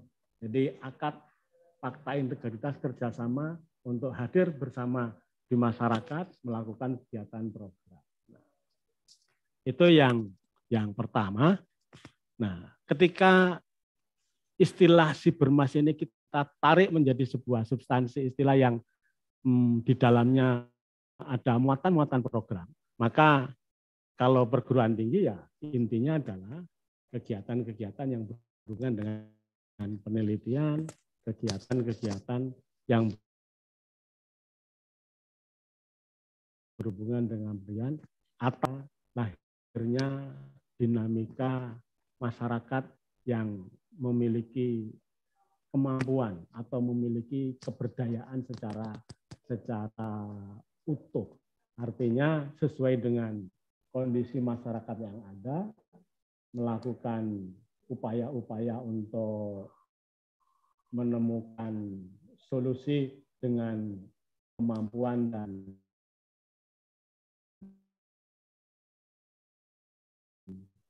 potensi yang ada di sekitarnya itu yang paling penting. Yang tadi disampaikan dengan kemampuan ilmu pengetahuan yang dimiliki dapat melakukan devirasi dalam bentuk proses-proses yang lebih proses-proses yang lebih aktual atau proses-proses yang lebih konkret sesuai dengan kebutuhan yang ada di masyarakat.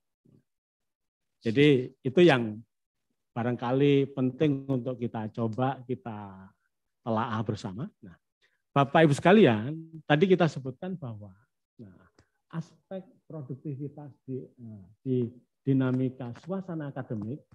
Nah, kalau kita tinjau miliknya Universitas Islam Madura ini kan bunyinya masih presentasi hasil penelitian yang ditindaklanjuti dengan pengabdian. Nah, tapi belum ada angkanya, Mas Safi. belum ada angkanya. Contoh kalau 25 penelitian, 5 saja ditindaklanjuti dan itu menjadi program. Nah, kita bingkai dengan Sibermas, maka kan akan sesuai dengan apa yang disampaikan oleh Mas Safi tadi. Jadi ada hulu sampai pada ada sampai pada hilir, problem masyarakat tidak one day service gitu ya Mas ya. Akan tapi nah masyarakat berikan kesempatan. Kalau dalam teori participatory exchange itu adalah masyarakat sampai mampu menjaga keberlangsungan, mampu menjaga keberlangsungan apa yang dilakukan oleh kawan-kawan di perguruan tinggi. Nah, saya pikir ini menarik. Ya, saya pikir ini menarik. Kalau kita beri angka kepada kawan-kawan LPMI, berapa sih angkanya yang dapat diukur oleh pimpinan bahwa kegiatan penelitian yang ditindaklanjuti dengan kegiatan pengabdian itu benar-benar ada ukuran yang dilakukan untuk setiap tahun, untuk setiap semester, sehingga ketika kita ditanya nah akreditasi kriteria 9 ini mampu menunjukkan seperti itu, mampu menunjukkan seperti itu. Nah, begitupun juga kualitas publikasi ilmiah yang diterbitkan. Jadi kita tidak sebatas memang pada laporan hasil penelitian, tapi kalau mau meniru miliknya Mas Ahmad Safiuddin ini kelihatannya semua kegiatan penelitian outputnya adalah nah jurnal. Jadi kita sedang memulai itu Mas di Universitas Islam dan kawan-kawan sudah sudah lumayan. Tinggal bagaimana mentarget. Pak Rektor memberikan target, Pak Rektor memberikan reward bahasanya, Mohon maaf Pak Rektor kalau kita sebut ya. Ini kan bagian dari upaya peningkatan manajemen mutu. Jadi ada apa? Ada sinergi berapa hasil yang dilakukan dan bagaimana meriwet. Tentunya meriwet tidak harus dengan uang. Meriwet tidak harus dengan aspek finansial, tapi bagaimana mencoba melakukan nah melakukan upaya menerjemahkan sinergi ini akan menghasilkan sesuatu yang berdampak kepada individu atau dosen yang ada di perguruan tinggi, ataupun juga sangat akan berdampak kepada institusi. Ini yang terpenting. Eh, saya menemukan referensi gitu ya, hal-hal yang bagaimana kita lakukan supaya ini menjadi konteks proses konteks proses manajemen Maaf, mutu Bapak Pak Hadi suaranya itu akan ya oh iya. Iya Mbak. Makasih. Uh, ini kalau di perguruan tinggi perguruan tinggi lintas luar saya pikir sudah sudah jalan pesat gitu ya ini kasus kita yang kita branding adalah bagaimana meningkatkan eksistensi perguruan tinggi daerah Mas Afi. eksistensi nah, perguruan tinggi di daerah. Uh, ada dua atau ada ada dua kelompok. Nah, mandatori perguruan tinggi pertama dalam konteks layanan pendidikan yaitu pendidikan tinggi. Dan yang kedua mandatori yang kedua yang kita harapkan adalah perguruan tinggi mampu melakukan inovasi-inovasi sehingga yang ada di dalamnya muncul apa yang disebut dengan unit-unit usaha atau unit-unit bisnis yang dapat dikembangkan menjadi bagian penting tantangan perguruan tinggi untuk bisa berdaya dan mampu memiliki kemampuan pemandirian dalam program-program penguatan yang ada di dalam. Coba melihat empat kuadran ini, Bapak Ibu sekalian, maka jelas bahwa perguruan tinggi hakikatnya adalah center atau pusat penguatan terjadinya interaksi gitu ya antara institusi dengan masyarakat yang tidak yang tidak terputus, yang tidak terputus. Artinya bahwa aktivitas-aktivitas pengembangan kelembagaan itu akan berdampak kepada nah, perhatian masyarakat untuk memberikan perhatian kepada masyarakat untuk bisa selalu berhubungan erat dengan dinamika perubahan, dinamika pengembangan pengetahuan yang dimiliki oleh perguruan tinggi. Kita ambil contoh kalau yang di kuadran bawah konteks bisnis ini, program-program pengembangan diri. Nah, apa yang ditawarkan oleh perguruan tinggi? Salah satunya adalah nah sertifikasi-sertifikasi kemampuan yang dapat diharapkan. Nah, tentunya adalah lulusan. Nah, lulusan kan tidak selesai di S1 seperti itu.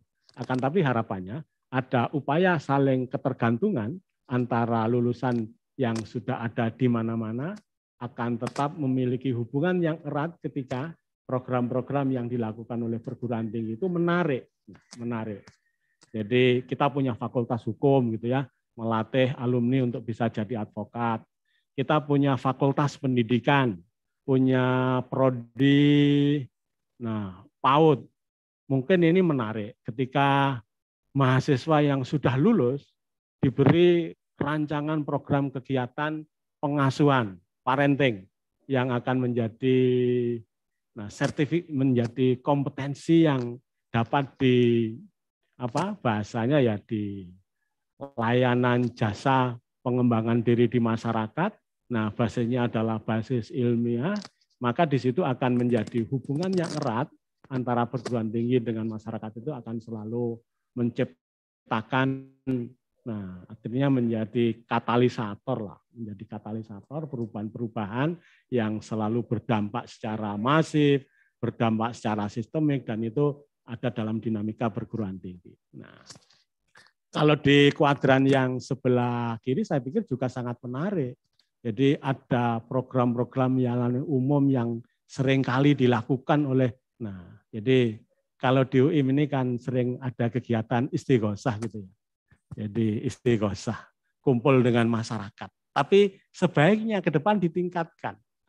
Apa yang bisa dilihat? Promosi-promosi pengetahuan yang dikembangkan.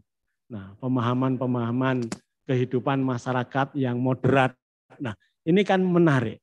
Jadi tidak hanya selesai pada aspek pada aspek kuasa keyakinan, akan tapi nyampe pada pemahaman secara konstruktif kehidupan yang ada di masyarakat Universitas Madura yang ada di tengah itu adalah menjadi kuasa untuk melakukan bahasanya adalah transformasi gitu ya. Bahasanya adalah transformasi. Mentransformasi nilai-nilai kehidupan yang itu didapat dari perguruan tinggi. Nah, jadi meskipun tidak terlalu aktif pengguna yang ada di sini, tapi pengguna pasif. So, universitas untuk memberikan layanan umum tersebut. Nah, pada kuadran di atas yang sebelah kanan saya pikir ini adalah mandatori universitas untuk melakukan dan perguruan tinggi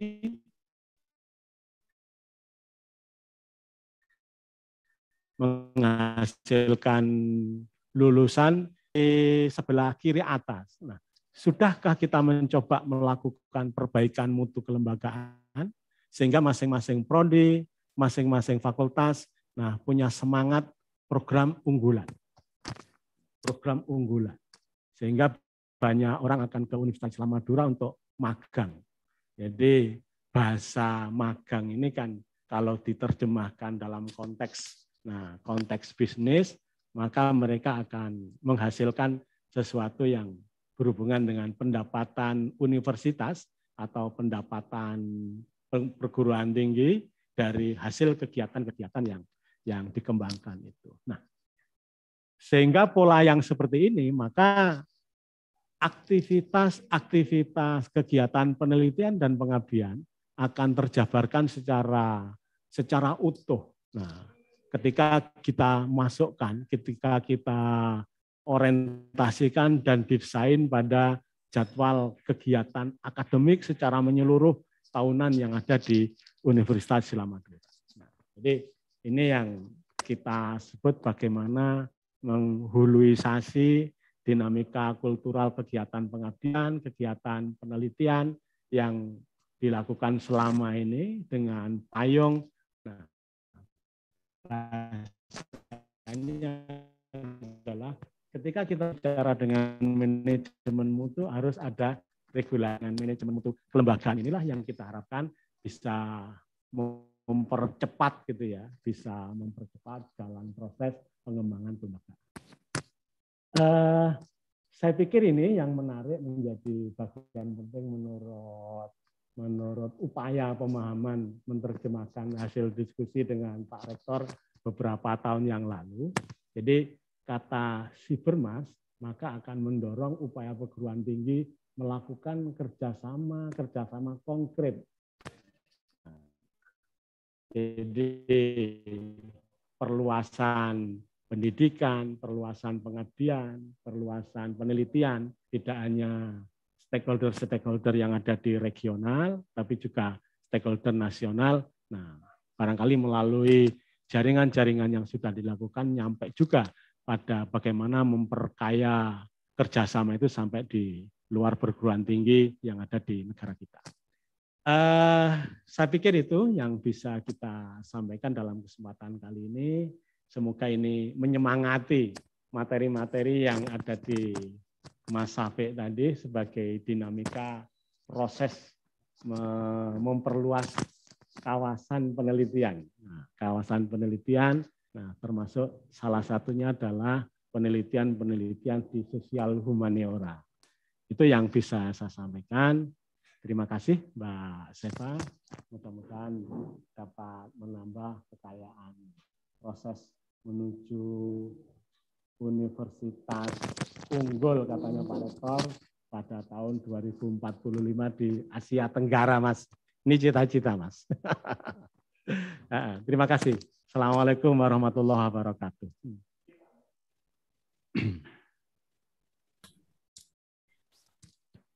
Ya, terima kasih kami sampaikan kepada Bapak Saiful Hadi.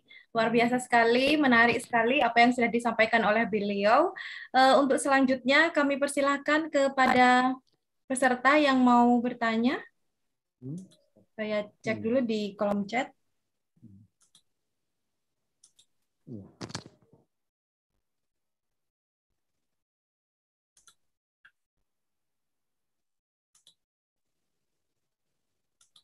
Di kolom chat masih belum ada pertanyaan, silakan untuk Bapak Ibu peserta yang mau bertanya dipersilahkan. Atau yang mau eh, apa cari solusi atau minta tips dan trik dengan para keynote speaker kita dipersilahkan. Ini yang ada di kolom chat masih sifatnya curhat ini Pak Udin. Jadi masalah polusi air di tempatnya masing-masing ini. Ini memang berarti masalah bukan hanya masalah global, tapi juga masalah yang ya di sekitar kita sendiri, tapi belum terpikirkan barangkali Pak Udin. Masalahnya banyak tapi tidak terpikirkan untuk ke sana. Yang termasuk saya sendiri maksudnya. Ketika saya bingung untuk cari ide, pengemas ataupun penelitian yang dicari itu yang jauh gitu ya. Terbentur dengan teknologinya tidak ada misalnya. Tapi ternyata yang di sekitar kita yang kadangkali ter, eh, kadangkala terlupakan. Silakan Bapak Ibu yang mau bertanya boleh untuk raise hand, boleh mau bertanya di kolom chat juga boleh.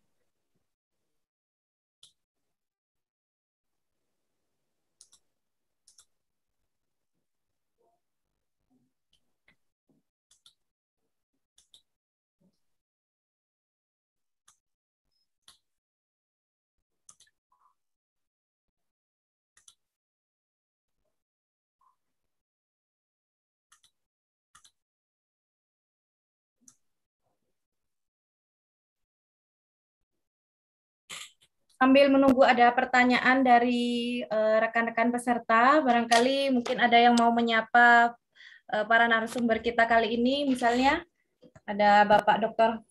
Hozairi di sini, barangkali mau menyapa Bapak?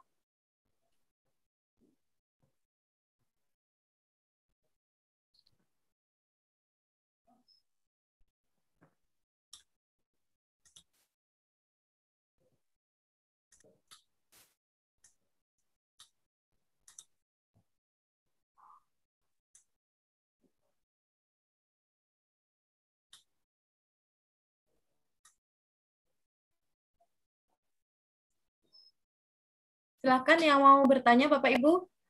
Bisa sodakoh pertanyaan. Kalau bertanya berarti kan memberikan kesempatan yang lainnya untuk belajar lebih banyak lagi. Silakan.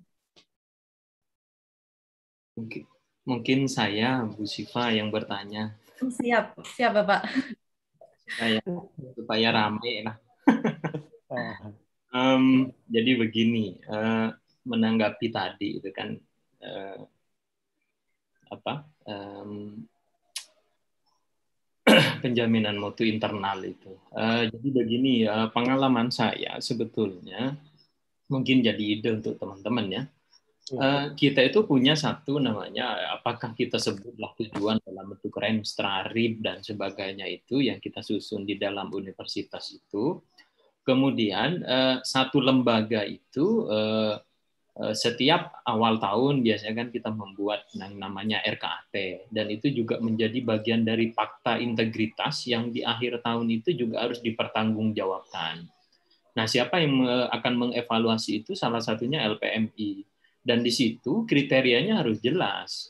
Makanya sering saya kritisi universitas di Indonesia itu ketika membuat renstra dan sebagainya, isinya itu kumpulan tujuan-tujuan kayak tadi mengembangkan UNIF, menjadikan UNIF unggul, menjadikan apa, strateginya nggak tahu harus apa, indikatornya nggak tahu harus apa. Misalnya kalau eh, kalau kita punya tujuan itu maka harus jelas eh, membuat dua research center gitu jadi yang di bawah itu tahu dan itu kan bisa dipertanggungjawabkan. Kira-kira begitu. Kemudian yang terkait publikasi, ada berapa ada berapa hibah internal yang yang yang dimiliki. Kemudian di akhir evaluasinya eh, berapa publikasi yang yang diperoleh dari itu misalnya 50% kah atau 75% kah. Jadi itu menjadi bahan evaluasi. Kalau kalau itu tidak ada, uh, orang mengerjakan as usual gitu jadi ya buat gitu aja nggak ada hmm. nggak ada nggak ada evaluasi untuk kami bersama kita pun tidak janji apa-apa kira-kira begitu hmm. maka uh, tidak hanya UIM semua universitas uh, yang selalu saya kritisi itu mimpi aja gitu mau unggul di Asia Tenggara mau di ini uh, Tenggara dari awal saja sudah tidak tidak tahu harus ngapain gitu hanya angan-angan saja kira-kira begitu dan kalau kami di UNUSA tugas itu oleh LPMPI, jadi lembaga penjaminan mutu itu tiap tahun itu melakukan audit untuk satu universitas. Itu di, tidak hanya lembaga, kemudian prodi, fakultas terkait apa yang dijanjikan di dalam RKAT itu. Dan indikatornya jelas berapa peningkatannya, berapa yang dijanjikan, 20 persen, satu persen dan sebagainya. Jadi ketika di akhir tahun diaudit uh, itu tidak sesuai janji, maka sebetulnya harus berlaku ya, punishment. Punishmentnya itu mungkin uh, perlu dipikirkan juga apakah punishment yang mungkin sedang-sedang saja, ataukah cukup keras, ataukah bahkan keras, kira-kira begitu disesuaikan dengan universitas masing-masing. Kadang mungkin terlalu keras kabur semua misalnya, tapi kalau terlalu lembek juga orang nggak patuh. Kira-kira begitu dan itu menjadi pertanggungjawaban. Saya sebetulnya eh, ketika kemarin Prof No itu telepon bahwa tidak bisa ikut ya kebetulan bisa reuni dengan UIM kira-kira begitu. Saya itu eh, Pak Saiful itu sejak saya diundang Pak Ozai di tahun 2000 2012 kali ya, 2017 Pak 16 kira-kira begitu saya itu selalu sampaikan ke teman-teman saya uh, saya selalu mantau kira-kira begitu teman iya, iya, iya. di UIM kemudian yang berapa itu yang udah ikut pelatihan. Saya kadang iseng-iseng tiap hari lihat anak ini sudah bekerja apa belum? Atau kemarin itu hanya datang aja ngisi absen kira-kira begitu. Iya. Saya ketika disampaikan suruh ke UIM ah, bagus nah jadi bisa reuni ke ke teman-teman. Dan kebetulan hmm, tadi Pak Pak Rektor sedikit bercanda apa eh, katanya tiba-tiba Unusa gitu di Unusa kira-kira begitu. Yang pasti meskipun saya di mana jika kita bisa disilaturahmi monggo ke Surabaya untuk diskusi atau bahkan kebetulan saya lagi ke Madura misalnya monggo kita bisa diskusi di mana. Di ruang kopi tidak harus formal. Jadi apa yang bisa dikerjakan UIM apa yang bisa dikerjakan seluruh universitas NU yang yang ada di Indonesia. Jadi kita kita sekarang itu bekerjanya jangan sendiri-sendiri. Kalau mau saingan jangan ke UNUSA, kira-kira begitu. Eh, kalau mau saingan langsung tembak saja Harvard, kira-kira begitu. Nah, sesama NU ya kita harus bekerja bersama, kolaborasi bersama. Apa yang bisa kita share? Apakah keilmuannya, apakah kemampuan resource-nya yang ada di dalam, baik lab, baik sebagainya, sharing antar dosen, mahasiswa dan sebagainya. Dan itu harus harus harus harus diperkuat. Itu kira-kira uh, uh, untuk teman-teman. Semoga setelah ini sudah ada yang bertanya. ya Pak Udin, ini alhamdulillah sudah ada yang bertanya. Saya uh, sapa ini ada Bu Wiwin Puspita Hadi, beliau dari UTM. Ini mau bertanya, jadi mengapa sih uh, desa mayoritas desa itu mayoritas digunakan sebagai sasaran pengabdian masyarakat? Nah, padahal di desa itu sudah punya dana desa yang angkanya mungkin juga lumayan besar. Dan bagaimana menyikapi hal tersebut? Kriteria yang lolos dana hibah itu seperti apa, Bapak? Terima kasih. Oke, okay, good, good. Uh, mungkin begini ya, kenapa sih desa itu harus selalu menjadi sasaran? Mungkin pentingnya itu sebetulnya bukan itu kriterianya kriterianya itu tadi di awal saya sampaikan ada masalah. Ada masalah dulu dan itu tidak harus di desa. Atau bahkan di universitas di universitas kita bersama pun punya masalah dan itu bisa menjadi sesuatu yang bisa kita kerjakan eh, kira-kira begitu. Dan kemudian eh, kan di desa itu ada dana desa, makanya konsep yang tadi saya tawarkan itu integrated manner antara saintis, antara government, antara industri. Nah, kebanyakan kita itu makanya sempat saya singgung tadi apa yang dilakukan government itu adalah short term saja. Jadi kalau ada krisis menyediakan air air botol aja itu udah habis itu tahun depan buat kayak gitu lagi. Saya nggak tahu kan tipenya pemerintah memang memang selalu seperti itu. Makanya apa yang bisa kita kerjakan long termnya kita pikirkan sebagai sebagai saintis. Makanya kalau kolaborasi secara terintegrasi antara itu itu bisa memanfaatkan itu. Saya tidak tahu apakah secara undang-undangnya dana desa itu bisa dikelola bersama, menunjuk universitas untuk menyelesaikan masalahnya. Saya nggak tahu, saya nggak akan masuk ke situ. Tetapi yang paling penting kita bisa ya mengundang industri. Makanya saya selalu sampaikan industri itu punya banyak dana, CSR dan sebagainya. Kemudian international institution misalnya apa nih Eh, Asian Development Bank itu itu salah satu yang selalu memberikan dana besar-besar. Dan yang tahun ini saya dapat dari UNICEF itu eh, satu 1,2 m. Artinya kita bisa cari keluar gitu. Tidak harus tidak harus memanfaatkan dalam negeri saja. Kemudian kriterianya supaya lolos hibah itu terkait pengabdian masyarakat makanya saya kasih clue tadi yang semoga ini selalu diingat oleh teman-teman. Jangan one day service. Jadi ketika kalian mengajukan pengabdian masyarakat kepada dikti dan sebagainya, dalam proposal itu kalian hanya datang ke sana ngasih pelatihan sehari di situ selesai, sudah pasti nggak didanai.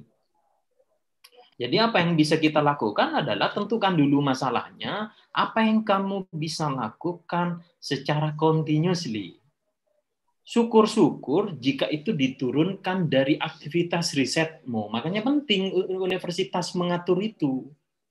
Bahwa riset itu, kemudian pengabdian itu adalah hilirisasi dari apa yang kalian kerjakan di di riset itu. Dan itu harus diatur oleh universitas dalam bahasanya dalam Renstra tadi.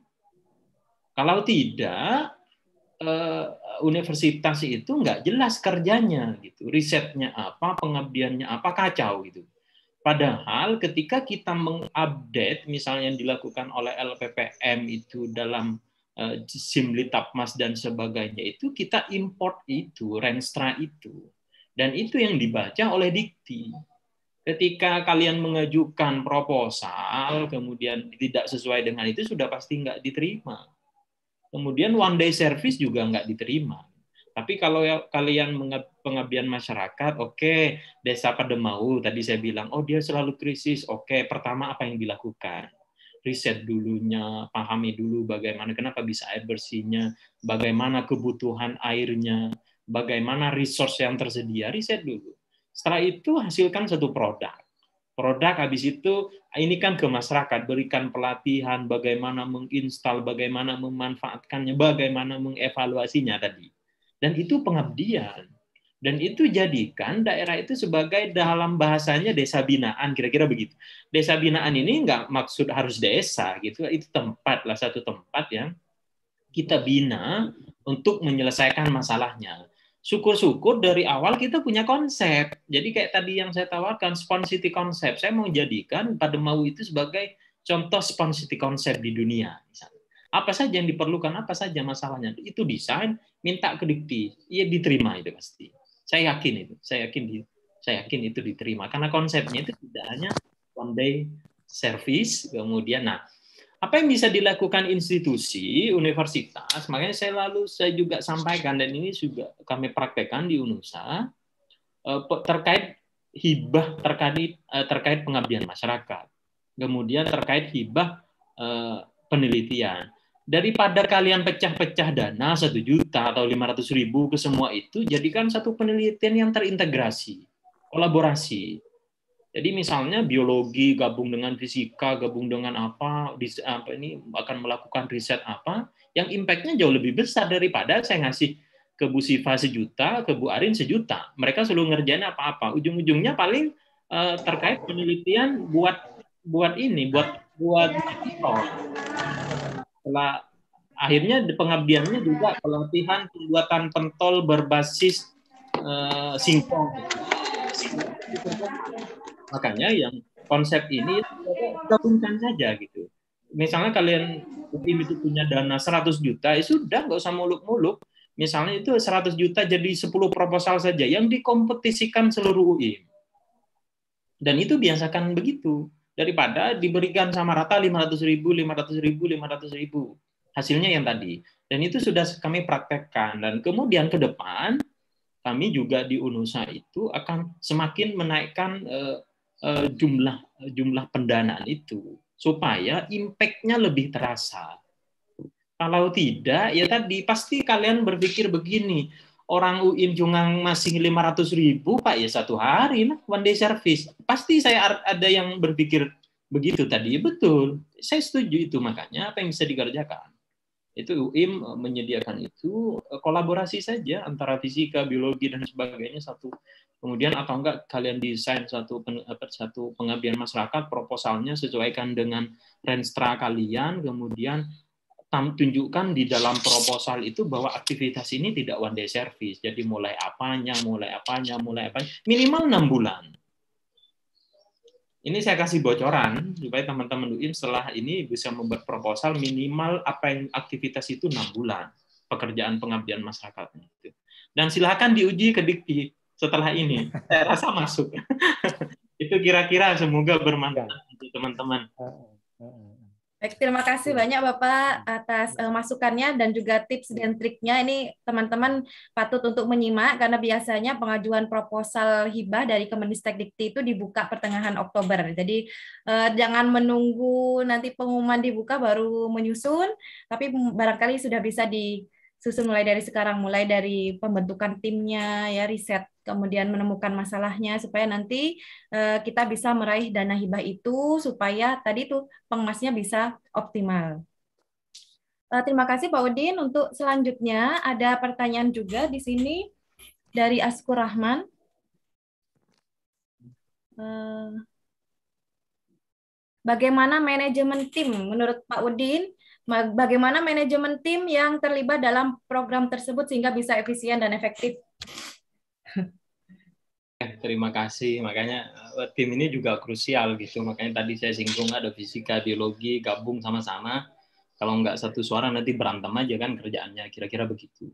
Makanya di awal konsep itu harus dibangun. Oh saya mau ke mana gitu. Misalnya begini. Oke saya mau jalan ke Madura. Oke uh, jalan kan ada berapa langkah itu anggap uh, uh, 100 langkah misalnya oke okay, 10 langkah disumbang oleh ini karena ini terkait biologi makanya Bu Siva yang handle.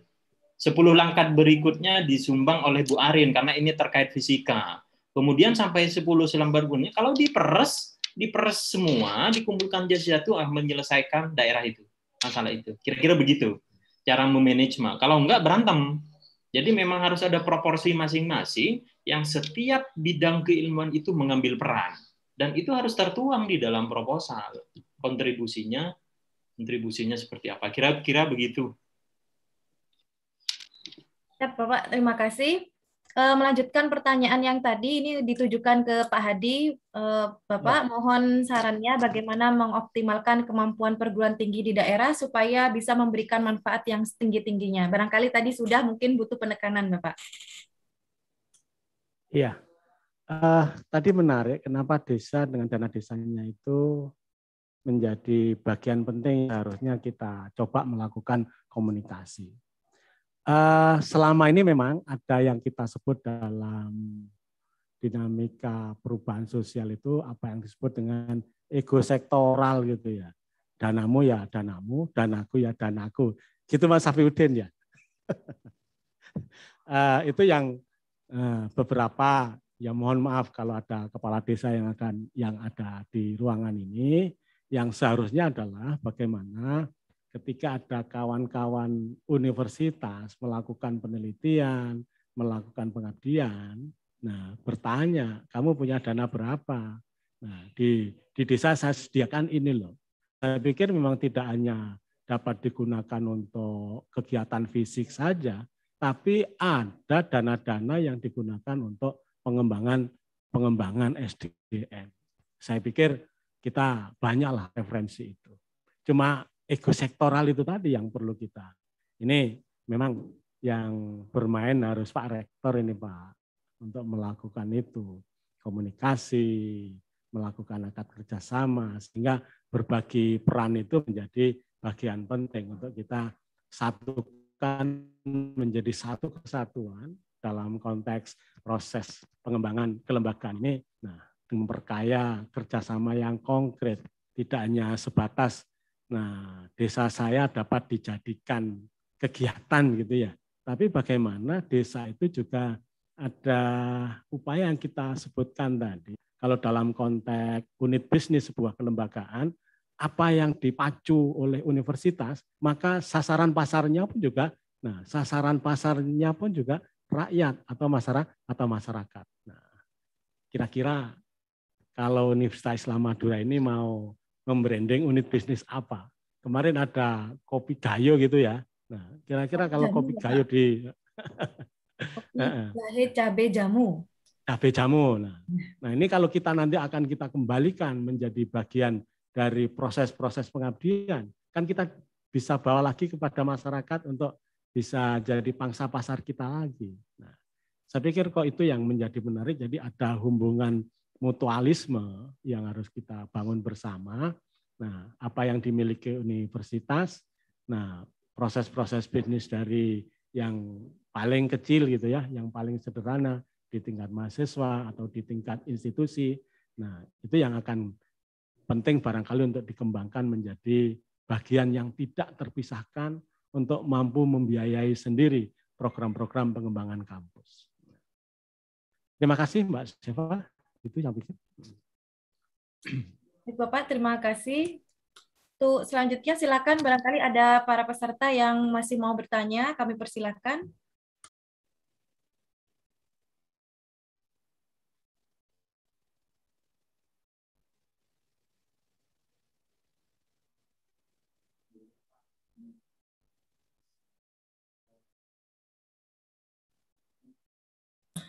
Ada pertanyaan ini dari Bapak Dekan Fakultas Ekonomi, Bapak Ahmad Baihaki. Pertanyaan untuk Pak Udin dan Pak Saiful Hadi adalah bagaimana membangun image kampus untuk bisa diterima oleh mitra. Hal ini biasanya kerjasama antar kampus dengan beberapa desa mitra atau kelompok masyarakat tertentu hanya dianggap sebagai komoditas politik masing-masing pihak. Sehingga yang terjadi adalah pengabdi dianggap harus membawa sejumlah dana tertentu yang bisa diserahkan kepada masyarakat. Waduh, ini gimana nih Pak? ya jadi karena kita mungkin di Madura ya Bapak ya, eh, barangkali masih ada stigma-stigma yang seperti itu di wilayah-wilayah tertentu. Nah, bagaimana menurut Pak Udin maupun Pak Saiful Hadi ini supaya bisa membangun image kampus yang baik bagi mitra? Siapa dulu, Mbak? Monggo, silahkan. Monggo, Mas Afe. Terima kasih. Terima kasih. Um, makanya penting ini, Mbak. Penting reputasi itu penting. Jadi reputasi itu dibangun ya, bukan di bukan hanya di all, di polisi kira-kira begitu. Dan ini saya selalu sampaikan ke teman-teman. Nah, terkadang terkadang begini, eh, makanya memulai reputasi itu itu yang paling krusial itu adalah personalnya dulu. Baru kita bangun sampai ini menjadi uh, oh universitas ini memang bagus nah orang-orangnya begitu. Jadi tapi sekali personalnya jelek ya ya orang akan melihat itu sebagai bagian itu. Sampai ada begini pengalaman pengalaman saya itu terakhir itu uh, alhamdulillah dapat dana dari UNICEF, dari UNICEF eh, PBB punyanya PBB dan itu mengalahkan universitas-universitas yang powerful di Indonesia gitu. Padahal UNOSA, UNOSA siapa sih ininya yang yang yang kenal kira-kira begitu dan ternyata setelah kita telusuri mereka tidak melihat siapa institusinya. Dia melihat siapa sih personalnya yang mengajukan, kira-kira begitu. Makanya penting sekali reputasi itu dijaga uh, supaya tidak ada terkesan yaitu sekali sekali jelek sekali itu. Terutama di uh, kalau di Indonesia mungkin ini masih agak subjektif ya. Tetapi untuk organisasi internasional kemudian uh, uh, beberapa universitas di luar itu uh, personal itu sangat penting hubungan personal itu. Jadi kalau misalnya uh, sudah tahu Bu Sifa seperti apa gitu, kira-kira Bu Sifa ngajuin aja, yang ngajuin siapa-siapa udah nggak dibaca yang lain gitu, karena udah tahu tahu uh, reputasinya Bu Sifa seperti apa, kemudian uh, dan sekali diberikan kepercayaan itu penting kayak misalnya tadi cara mengevaluasinya sederhana saja dulu dari internalnya. Berikan dana kemudian apakah dipertanggungjawabkan secara baik atau tidak dana oleh lembaga dan itu itu menjadi bahan evaluasi sebetulnya uh, untuk untuk kalangan kampus. Orang ini bisa dipercaya apa tidak. Kalau itu sudah tidak bisa dipercaya orang luar pun sudah sudah agak susah mempercayai. Tetapi sekali percaya dan kami punya pengalaman uh, di UTM itu kita dapatnya uh, dapat Newton Fund namanya. Newton Fund itu pendanaannya cukup tinggi sekitar 21 miliar kira-kira begitu. Nah apa yang kita lakukan secara umum sekali lagi saya ulangi lembaga itu basicnya trust. Jadi eh, kalau orang sudah percaya, ya seperti Newton Van ngasih itu nggak pernah meminta kwitansi makan nasi padang, nggak ada itu. Karena sudah percaya di awal dan itu sudah dibangun dari mana? Dari track record, track record kita. Jadi apa yang dipertanggungjawabkan? Ya apa yang prosesnya? Oh kamu saya mau janji untuk bangun bangun beberapa negara itu untuk konsep water resource management. Ya itu kita kerjakan. Habis itu selesai sudah laporannya. Jadi mereka tidak minta yang tadi saya bilang sering bercanda itu eh, kwitansi makan nasi padang di warteg aja diminta gitu. kira-kira begitu. Karena dari awal itu sudah trust. Dan di universitas mohon itu dibangun dan saya di UNUSA itu sudah bangun. Jadi eh, ketika kami memberikan pendanaan ke dosen-dosen, oke, okay, kita trust pada kalian, itu jangan pernah nodai itu. Dan pelaporan kepada kami ya, nggak nggak merepotkan, yang penting kamu janji dan itu kami bisa evaluasi. Oh, evaluasi tahun depan. Kalau orang ini sekali ini nakal ya tahun depannya susah mereka. Dan itu dibangun karena ini bisa kita kontrol internal. Tetapi kalau misalnya ke dikti, kita sudah bisa nggak kontrol. Karena yang kwitansi-kwitansi itu sudah diminta. apa Tapi untuk internal, mari kita bangun kepercayaan itu, kejujuran itu. Nanti ketika berkomunikasi dengan eksternal, itu sudah kita sudah terbiasa. Sudah terbiasa dan jujur dan sebagainya itu melaporkan. Kemudian apa yang kita janjikan, kita delivery. Kira-kira begitu. Dan itu mohon eh, teman-teman UIM, bangun itu suatu saat orang tidak akan melihat oh, ada di mana sih gitu.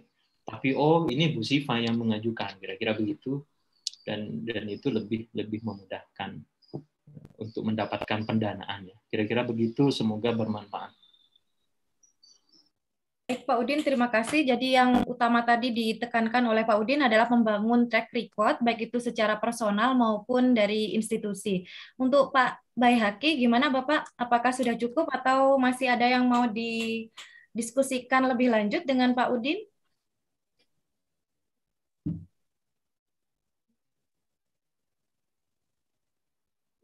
Atau saya berikan kesempatan kepada Bapak Saiful Hadi, monggo Bapak jika ada yang mau ditambahkan.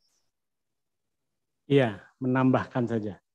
Uh, dalam dinamika kultur manajemen mutu kelembagaan, ada istilah yang kita sebut menghabituasi gitu ya, menghabituasi. Mungkin kalau di UNUSA habituasinya sudah di atas level kesekian gitu ya.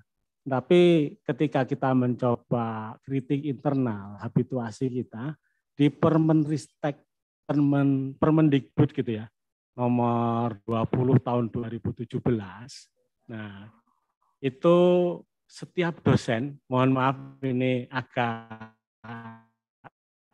klasik ini Mas Hafi ya, tapi perlu kita ungkap lah. Nah, eh, Permendikbud Permendikbud 20 2017 itu berbunyi bahwa setiap dosen yang dapat sertifikat pendidik Serdos, maka tiga komponen tidak boleh nah, tidak boleh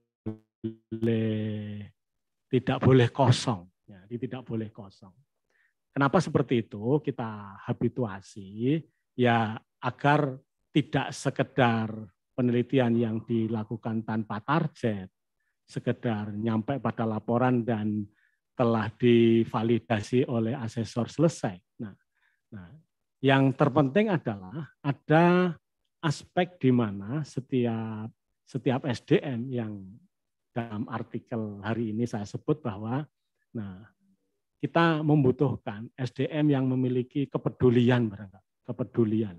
Jadi peduli terhadap dinamika kehidupan sosial masyarakat yang selalu tidak menguntungkan dalam konteks saat ini yaitu pandemi. Nah, oleh karena itu, nah menghabituasi proses ini melalui aturan-aturan yang ada dan setelah itu sudah menjadi kebiasaan untuk bisa tuntas sesuai dengan pedoman, maka saya yakin ada perubahan-perubahan yang lebih lebih baik lagi ketika ada aspek-aspek yang didorong ke arah yang lebih lebih meningkat baik secara personal ataupun secara institusional yang ada di masing-masing lembaga. Saya pikir itu Mbak Seva. Mudah-mudahan Mas Bayaki juga nah banyak sekali yang menjadi bagian penting mengembangkan institusi fakultas ekonomi untuk bisa memiliki program-program unggulan, nah program-program yang terkait dengan layanan umum ataupun program-program yang berhubungan dengan peningkatan kompetensi lulusan yang itu dapat disertifikasi oleh Fakultas Ekonomi. Saya kok menariknya seperti itu, Mas Baik Haki. Jadi Mari Pak Bahaki barangkali mau rancangan program, rancangan program kegiatan Fakultas Ekonomi karena branding unit bisnis itu bukan di universitas, tapi ada di ada di fakultas, ada di prodi atau di nah, atau di apa itu laboratorium laboratorium yang bisa memberikan nah memberikan layanan layanan umum pada alumni atau pada masyarakat pada umumnya. Ayo kita bersama cari program Pak Bahyaki membuat sertifikat kompetensi nah, auditor itu ya. saya pikir banyak dibutuhkan dan saya kok yakin laku gitu loh. Jadi makanya LSP kemarin yang disampaikan oleh, mari kita tangkap menjadi, menjadi kebutuhan program. Tidak apa-apa lah. Mohon maaf kalau bahasanya jualan ya, Mas Abi ya, jualan program. meskipun tidak berbunyi seperti itu, tapi bagaimana menggandeng masyarakat ternyata membutuhkan kehadiran kita untuk melakukan kebaikan kualitas hidup. Terima kasih. Baik. Uh, Bu Seva mohon izin sebentar. Monggo, monggo Bapak. Ya, mumpung ketemu dua master ini.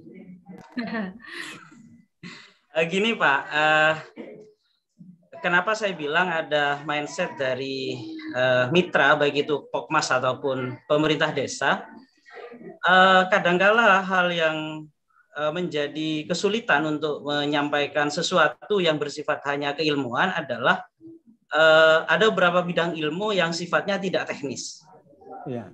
Nah, saya, kami pribadi yang di Fakultas Ekonomi yang orang-orang akuntansi malah dianggap uh, bukan mitra oleh desa karena akan mengedukasi terkait dengan pertanggungjawaban dan itu dianggap musuh malah terkadang.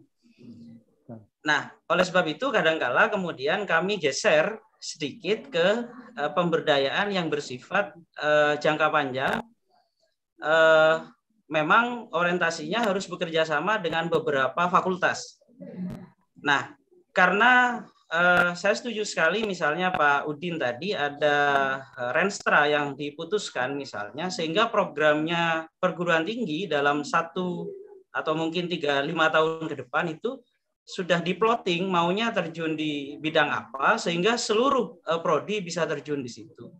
Meskipun kadangkala ini menjadi uh, polemik juga Pak karena ya maaf maaf maaf kita misalnya ambil contoh ada salah satu kampus yang teknisnya adalah di keunggulannya di pertanian misalnya yang orang-orang pendidikan bingung mau ngapain situ akhirnya ngikut aja ngikut aja Nah, karena kita sudah kekayaan universitas, misalnya bagaimana membangun eh, seperti yang Pak Udin bilang tadi, ada sebuah eh, kekhasan personal ini. Mungkin itu eh, terutama yang tidak bersifat teknis, Pak, yang yang tidak bersifat teknis. Jadi bagaimana itu bisa bisa dibangun gitu. Terima kasih. Terima kasih Pak Bayhaki. Mungkin mau ditanggapi lagi Pak Hadi atau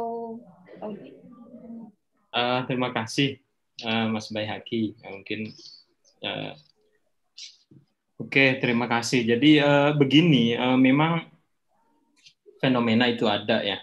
Uh, kita punya masalah, kemudian kita menyelesaikan masalah itu, kemudian tapi mungkin tanggapannya berbeda. Kalau menurut saya, menurut saya uh, komunikasi itu penting dari awal ya komunikasi terutama dengan aparatur desa itu kami juga punya pengalaman di situ sampaikan apa yang kita kerjakan ini begini jangan tiba-tiba datang kemudian tidak ada komunikasi kemudian mau melakukan eh, pengabdian masyarakat di situ ya pasti kecurigaannya akan sangat tinggi mulai saja menurut saya dari yang yang yang paling eh, dekat dengan dengan kampus kita kan kita biasanya sudah punya MOU ya. Saya itu selalu sekarang cukup intensif melakukan kerjasama tidak hanya dengan perusahaan, kemudian pemerintah, tetapi juga dengan desa-desa yang potensinya tinggi. Dan kemudian lakukan komunikasi, kemudian baru kita akan sampaikan beberapa apa yang bisa kita bangun universitas untuk memberdayakan di sana kalau misalnya aparaturnya tidak bisa kita berdayakan, ya masyarakatnya yang kita berdayakan. Makanya opsi jangan misalnya habis itu wah susah nih, jadi kalau gini nggak ini sudah kita eh, pikirkan justru di situ seninya sebetulnya memberdayakan orang itu seni. Jadi kita harus pikirkan maka komunikasi di awal harus sampaikan secara bagus. Kemudian membangun satu desa itu memiliki ciri khas, misalnya oke okay lah UI misalnya ciri khasnya eh, apa tadi eh, PEK, eh, KKN prodi atau apa gitu. Ini saran untuk untuk kita bersama kalau membuat seperti itu memang harus jelas di renstra universitas. Yang itu tidak setiap bulan, setiap tahun diganti gitu. Selesaikan dulu sampai selesai baru kita pindah lagi tematik ininya. Baru pindah-pindah lagi. Jangan jangan KKN tahun ini prodi. Tahun depan uh, militer gitu. Kalau tahun depan ini sebetulnya UI ini apa sih tujuannya? Kira-kira begitu. Jadi memang tertuang di universitas dan yang bawah itu menjalankan. Dan uh, tematik atau ciri khas dari universitas itu dibangunnya tidak tidak tidak lompat-lompat itu dibangun dari bawah, bawah, bawah, bawah, dan itu kontinu. Misalnya itu jangka enam tahun sekali, lima tahun sekali, atau seperti apa. Jadi tuntas apa yang kita kerjakan. Eh, kira-kira begitu. Semoga semoga bermanfaat sekali lagi. Eh, memilih mitra itu juga perlu seni, makanya eh, pendekatan dari awal MOU dulu, kemudian ini baru mulai diskusi. Biasanya pengalaman saya ketika kita sudah dekat dengan desa, kita tidak perlu mencari masalah. Mereka yang menawarkan masalah itu. Pak, di sini tuh ini loh, Pak. Di sini ini loh, Pak. Nah, baru kita masuk. Tapi kalau kita misalnya, Pak, saya mau benarkan itu ya, itu agak sensitif. Tapi kalau kita mendekat pengalaman saya dengan beberapa desa, akhirnya mereka cerita, Pak, di sini airnya ini loh, Pak. Pak, ini oke. Itu adalah oke, saya bantu menjadi pengabdian dari universitas untuk menyelesaikan masalah itu. Itu mungkin jadi ide uh, uh, Pak Bayhaki semoga bermanfaat yang juga. Terima kasih penjelasannya Pak Udin. Uh, untuk peserta yang lain silakan jika masih ada pertanyaan kami beri kesempatan. Sebelum kami tutup.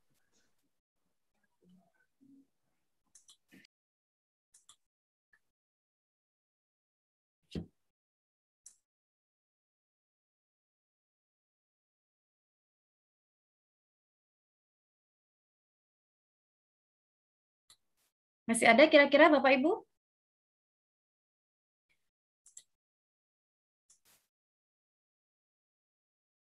Baik, sepertinya sudah tidak ada yang ditanyakan lagi dan memang sudah hampir kita rencanakan ini selesai pukul 11, tidak apa-apa. Eh, berarti kita bisa akhiri lebih cepat. Namun sebelum itu saya ingin membacakan hasil eh, ringkasan apa yang sudah kita diskusikan tadi bersama dengan keynote speaker kita. Yang pertama tadi dari keynote speaker yang pertama, eh, Pak Udin sudah memberikan pemaparan yang luar biasa sekali dan yang bisa saya simpulkan adalah bahwa bentuk implementasi Tridharma itu tidak bisa terpisahkan dan tidak bisa kita pisah-pisahkan satu sama lain, semuanya saling terintegrasi dan berkaitan dari hulu hulu sampai dengan hilir. Nah, sedangkan peran perguruan perguruan tinggi kita bisa mengidentifikasi masalah yang ada di sekitar kita, misalnya kita uh, temukan masalah di bidang manajemen polusi air, uh, kebetulan uh, masalah yang berkaitan dengan manajemen polusi air ini masuk ke dalam isu kekinian ya, Bapak. Masuk ke dalam uh, fokus yang di Eh, termasuk dalam Sustainable Development Goals, di mana di situ ada climate change yang menjadi isu global, dan barangkali kita bisa masuk ke situ karena eh, banyak sekali masalah di masyarakat kita ya, ada banjir, kemudian polusi, dan seterusnya. Nah, peran perguruan, perguruan tinggi yaitu kita melakukan riset, riset secara mendalam, kemudian kita hasilkan suatu produk tertentu, dan hal itu bisa diterapkan di masyarakat sebagai bentuk eh, pengabdian masyarakat. Nah, eh, tadi juga sudah dipaparkan oleh eh, Pak Udin juga bagaimana memanfaatkan ide-ide sederhana dalam melaksanakan pengabdian masyarakat. Eh, jadi idenya sederhana tapi tepat guna untuk mengatasi masalah yang terjadi. Untuk itu, maka kita perlu ingat pesan beliau bahwa stop melakukan uh, pengabdian masyarakat yang sifatnya one day service, uh, tapi kita upayakan uh, dilakukan secara berkelanjutan dan terprogram, terutama bagi uh, Bapak Ibu sekalian yang mau mengajukan hibah, hibah di Ristek Dikti tidak lama lagi akan dibuka, biasanya di bulan Oktober, bisa sambil kita persiapkan dengan baik. Kemudian dalam melaksanakan eh, peran perguruan tinggi ini, maka kita perlu menerapkan empat pilar sinergi pemberdayaan masyarakat, yaitu perguruan tinggi, kemudian ada industri, kemudian ada pemerintah dan masyarakat. Kemudian di dalam melaksanakan pengabdian masyarakat penting untuk melakukan komunikasi supaya masyarakat bisa uh, diberdayakan dengan optimal itu. Kemudian dari Bapak Saiful Hadi ini terutama menjelaskan tentang bagaimana eh, pelaksanaan Tridharma dari perguruan tinggi itu disusun dalam kerangka manajemen mutu perguruan tinggi. Jadi mulai dari RIP dan Renstanya jelas dan dievaluasi juga secara tepat. Dan karena masalahnya semakin besar di masa pandemi, maka konstruksi tiga pilar yang disampaikan oleh Bapak Saiful Hadi maupun empat pilar tadi yang ditambahkan oleh Bapak Safiuddin itu bisa menjadi sinergi yang tepat untuk pemberdayaan e, masyarakat atau disebut sebagai sibermas tadi. Nah, untuk khusus e, mutu internal ini biar nanti menjadi diskusi lebih lanjut secara internal. Bapak, terima kasih atas masukannya. Barangkali itu yang bisa kami sampaikan. E, sebelum saya tutup, barangkali ada closing statement dari Pak Udin dan Pak Saiful Hadi, Pak Udin duluan mungkin. Silahkan Bapak. Oke, terima kasih. Singkat saja. Eh, semoga apa yang saya sampaikan tadi eh, dapat bermanfaat ke teman-teman UIM. Kemudian eh, sekali lagi saya pesan saya di, selalu di setiap akhir acara itu beberapa masukan mohon juga di selanjutnya dikerjakan kira-kira begitu. Jadi tidak hanya untuk jadi pengetahuan di di tempat kemudian sudah dilupakan kira-kira gitu. Semoga bermanfaat untuk teman-teman UIM ya. Semoga salam sehat untuk semuanya. Kira-kira begitu. Dan terima kasih banyak Pak Udin. Untuk selanjutnya Bapak Saiful Hadi. Monggo Bapak. Barangkali ada sepatah dua patah kata penutup yang eh, mau Bapak sampaikan kepada kami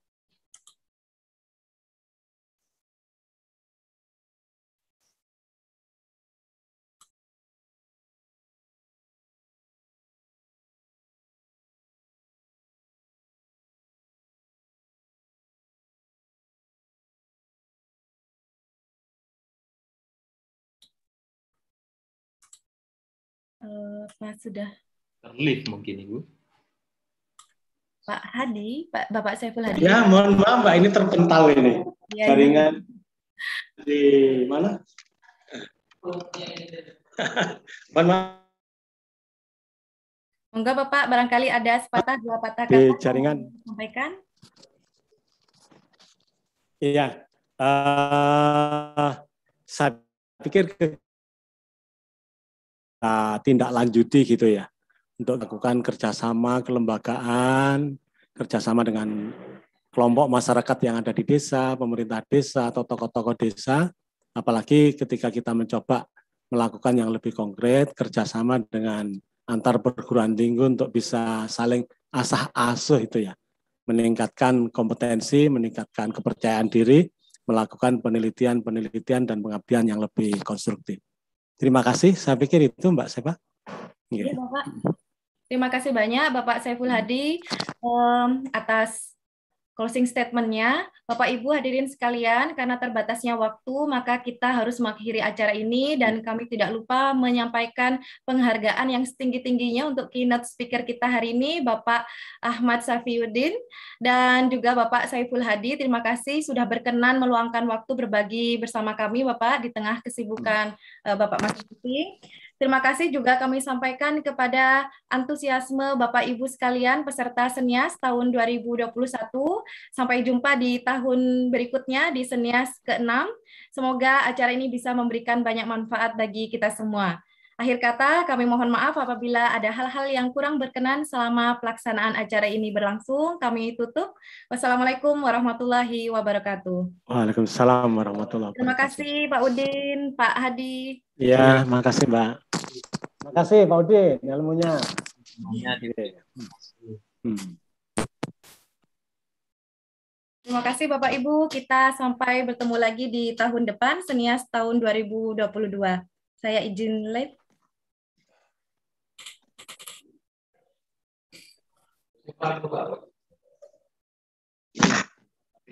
Menyampaikan hal mesti mengantar keluar langsung.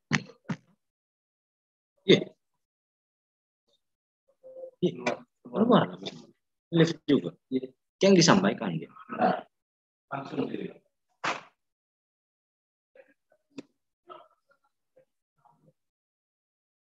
Ya tangdi anu ya. Tampilannya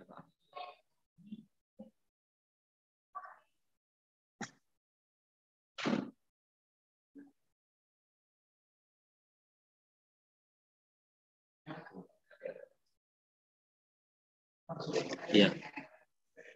Selamat Assalamualaikum warahmatullahi wabarakatuh. Selamat siang Bapak Ibu peserta. Selanjutnya adalah sesi paralel. Dimohon kepada para peserta pemakala untuk memasuki Zoom di ruangannya masing-masing. Untuk Zoom ini akan digunakan sesi paralel untuk ruang satu sehingga yang pemakalah di ruang satu untuk tetap bertahan di Zoom ini sedangkan yang berada di ruang dua dan tiga kami persilahkan Zoom ini dan silakan masuk ke Zoom di ruangan masing-masing. Terima kasih.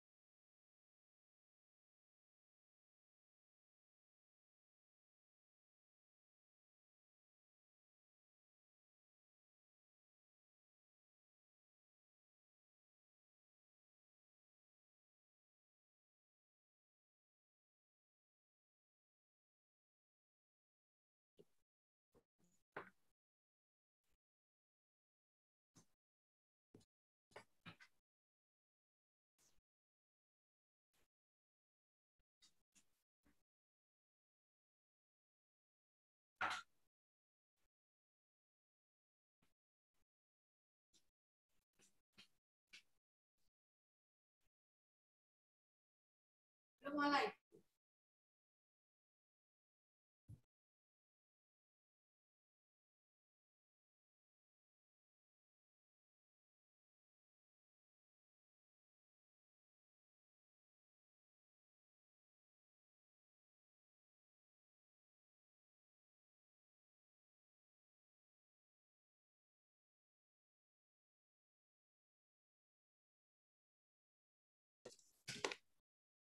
Baik, Bapak Ibu sekalian.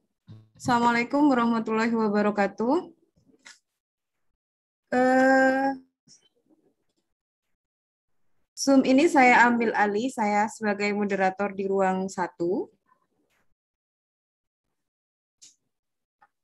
Sepertinya saya lihat sudah peserta room satu rata-rata, jadi bisa dimulai untuk sesi paralelnya.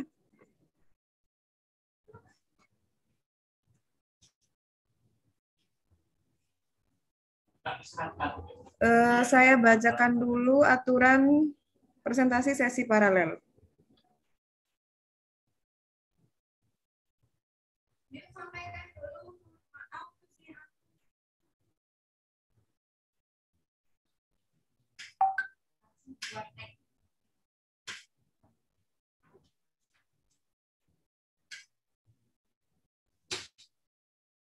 Oke, Bapak Ibu sekalian, untuk sesi paralel tata tertib sesi presentasi untuk Senias tahun 2021, izinkan saya membacakan tata tertibnya.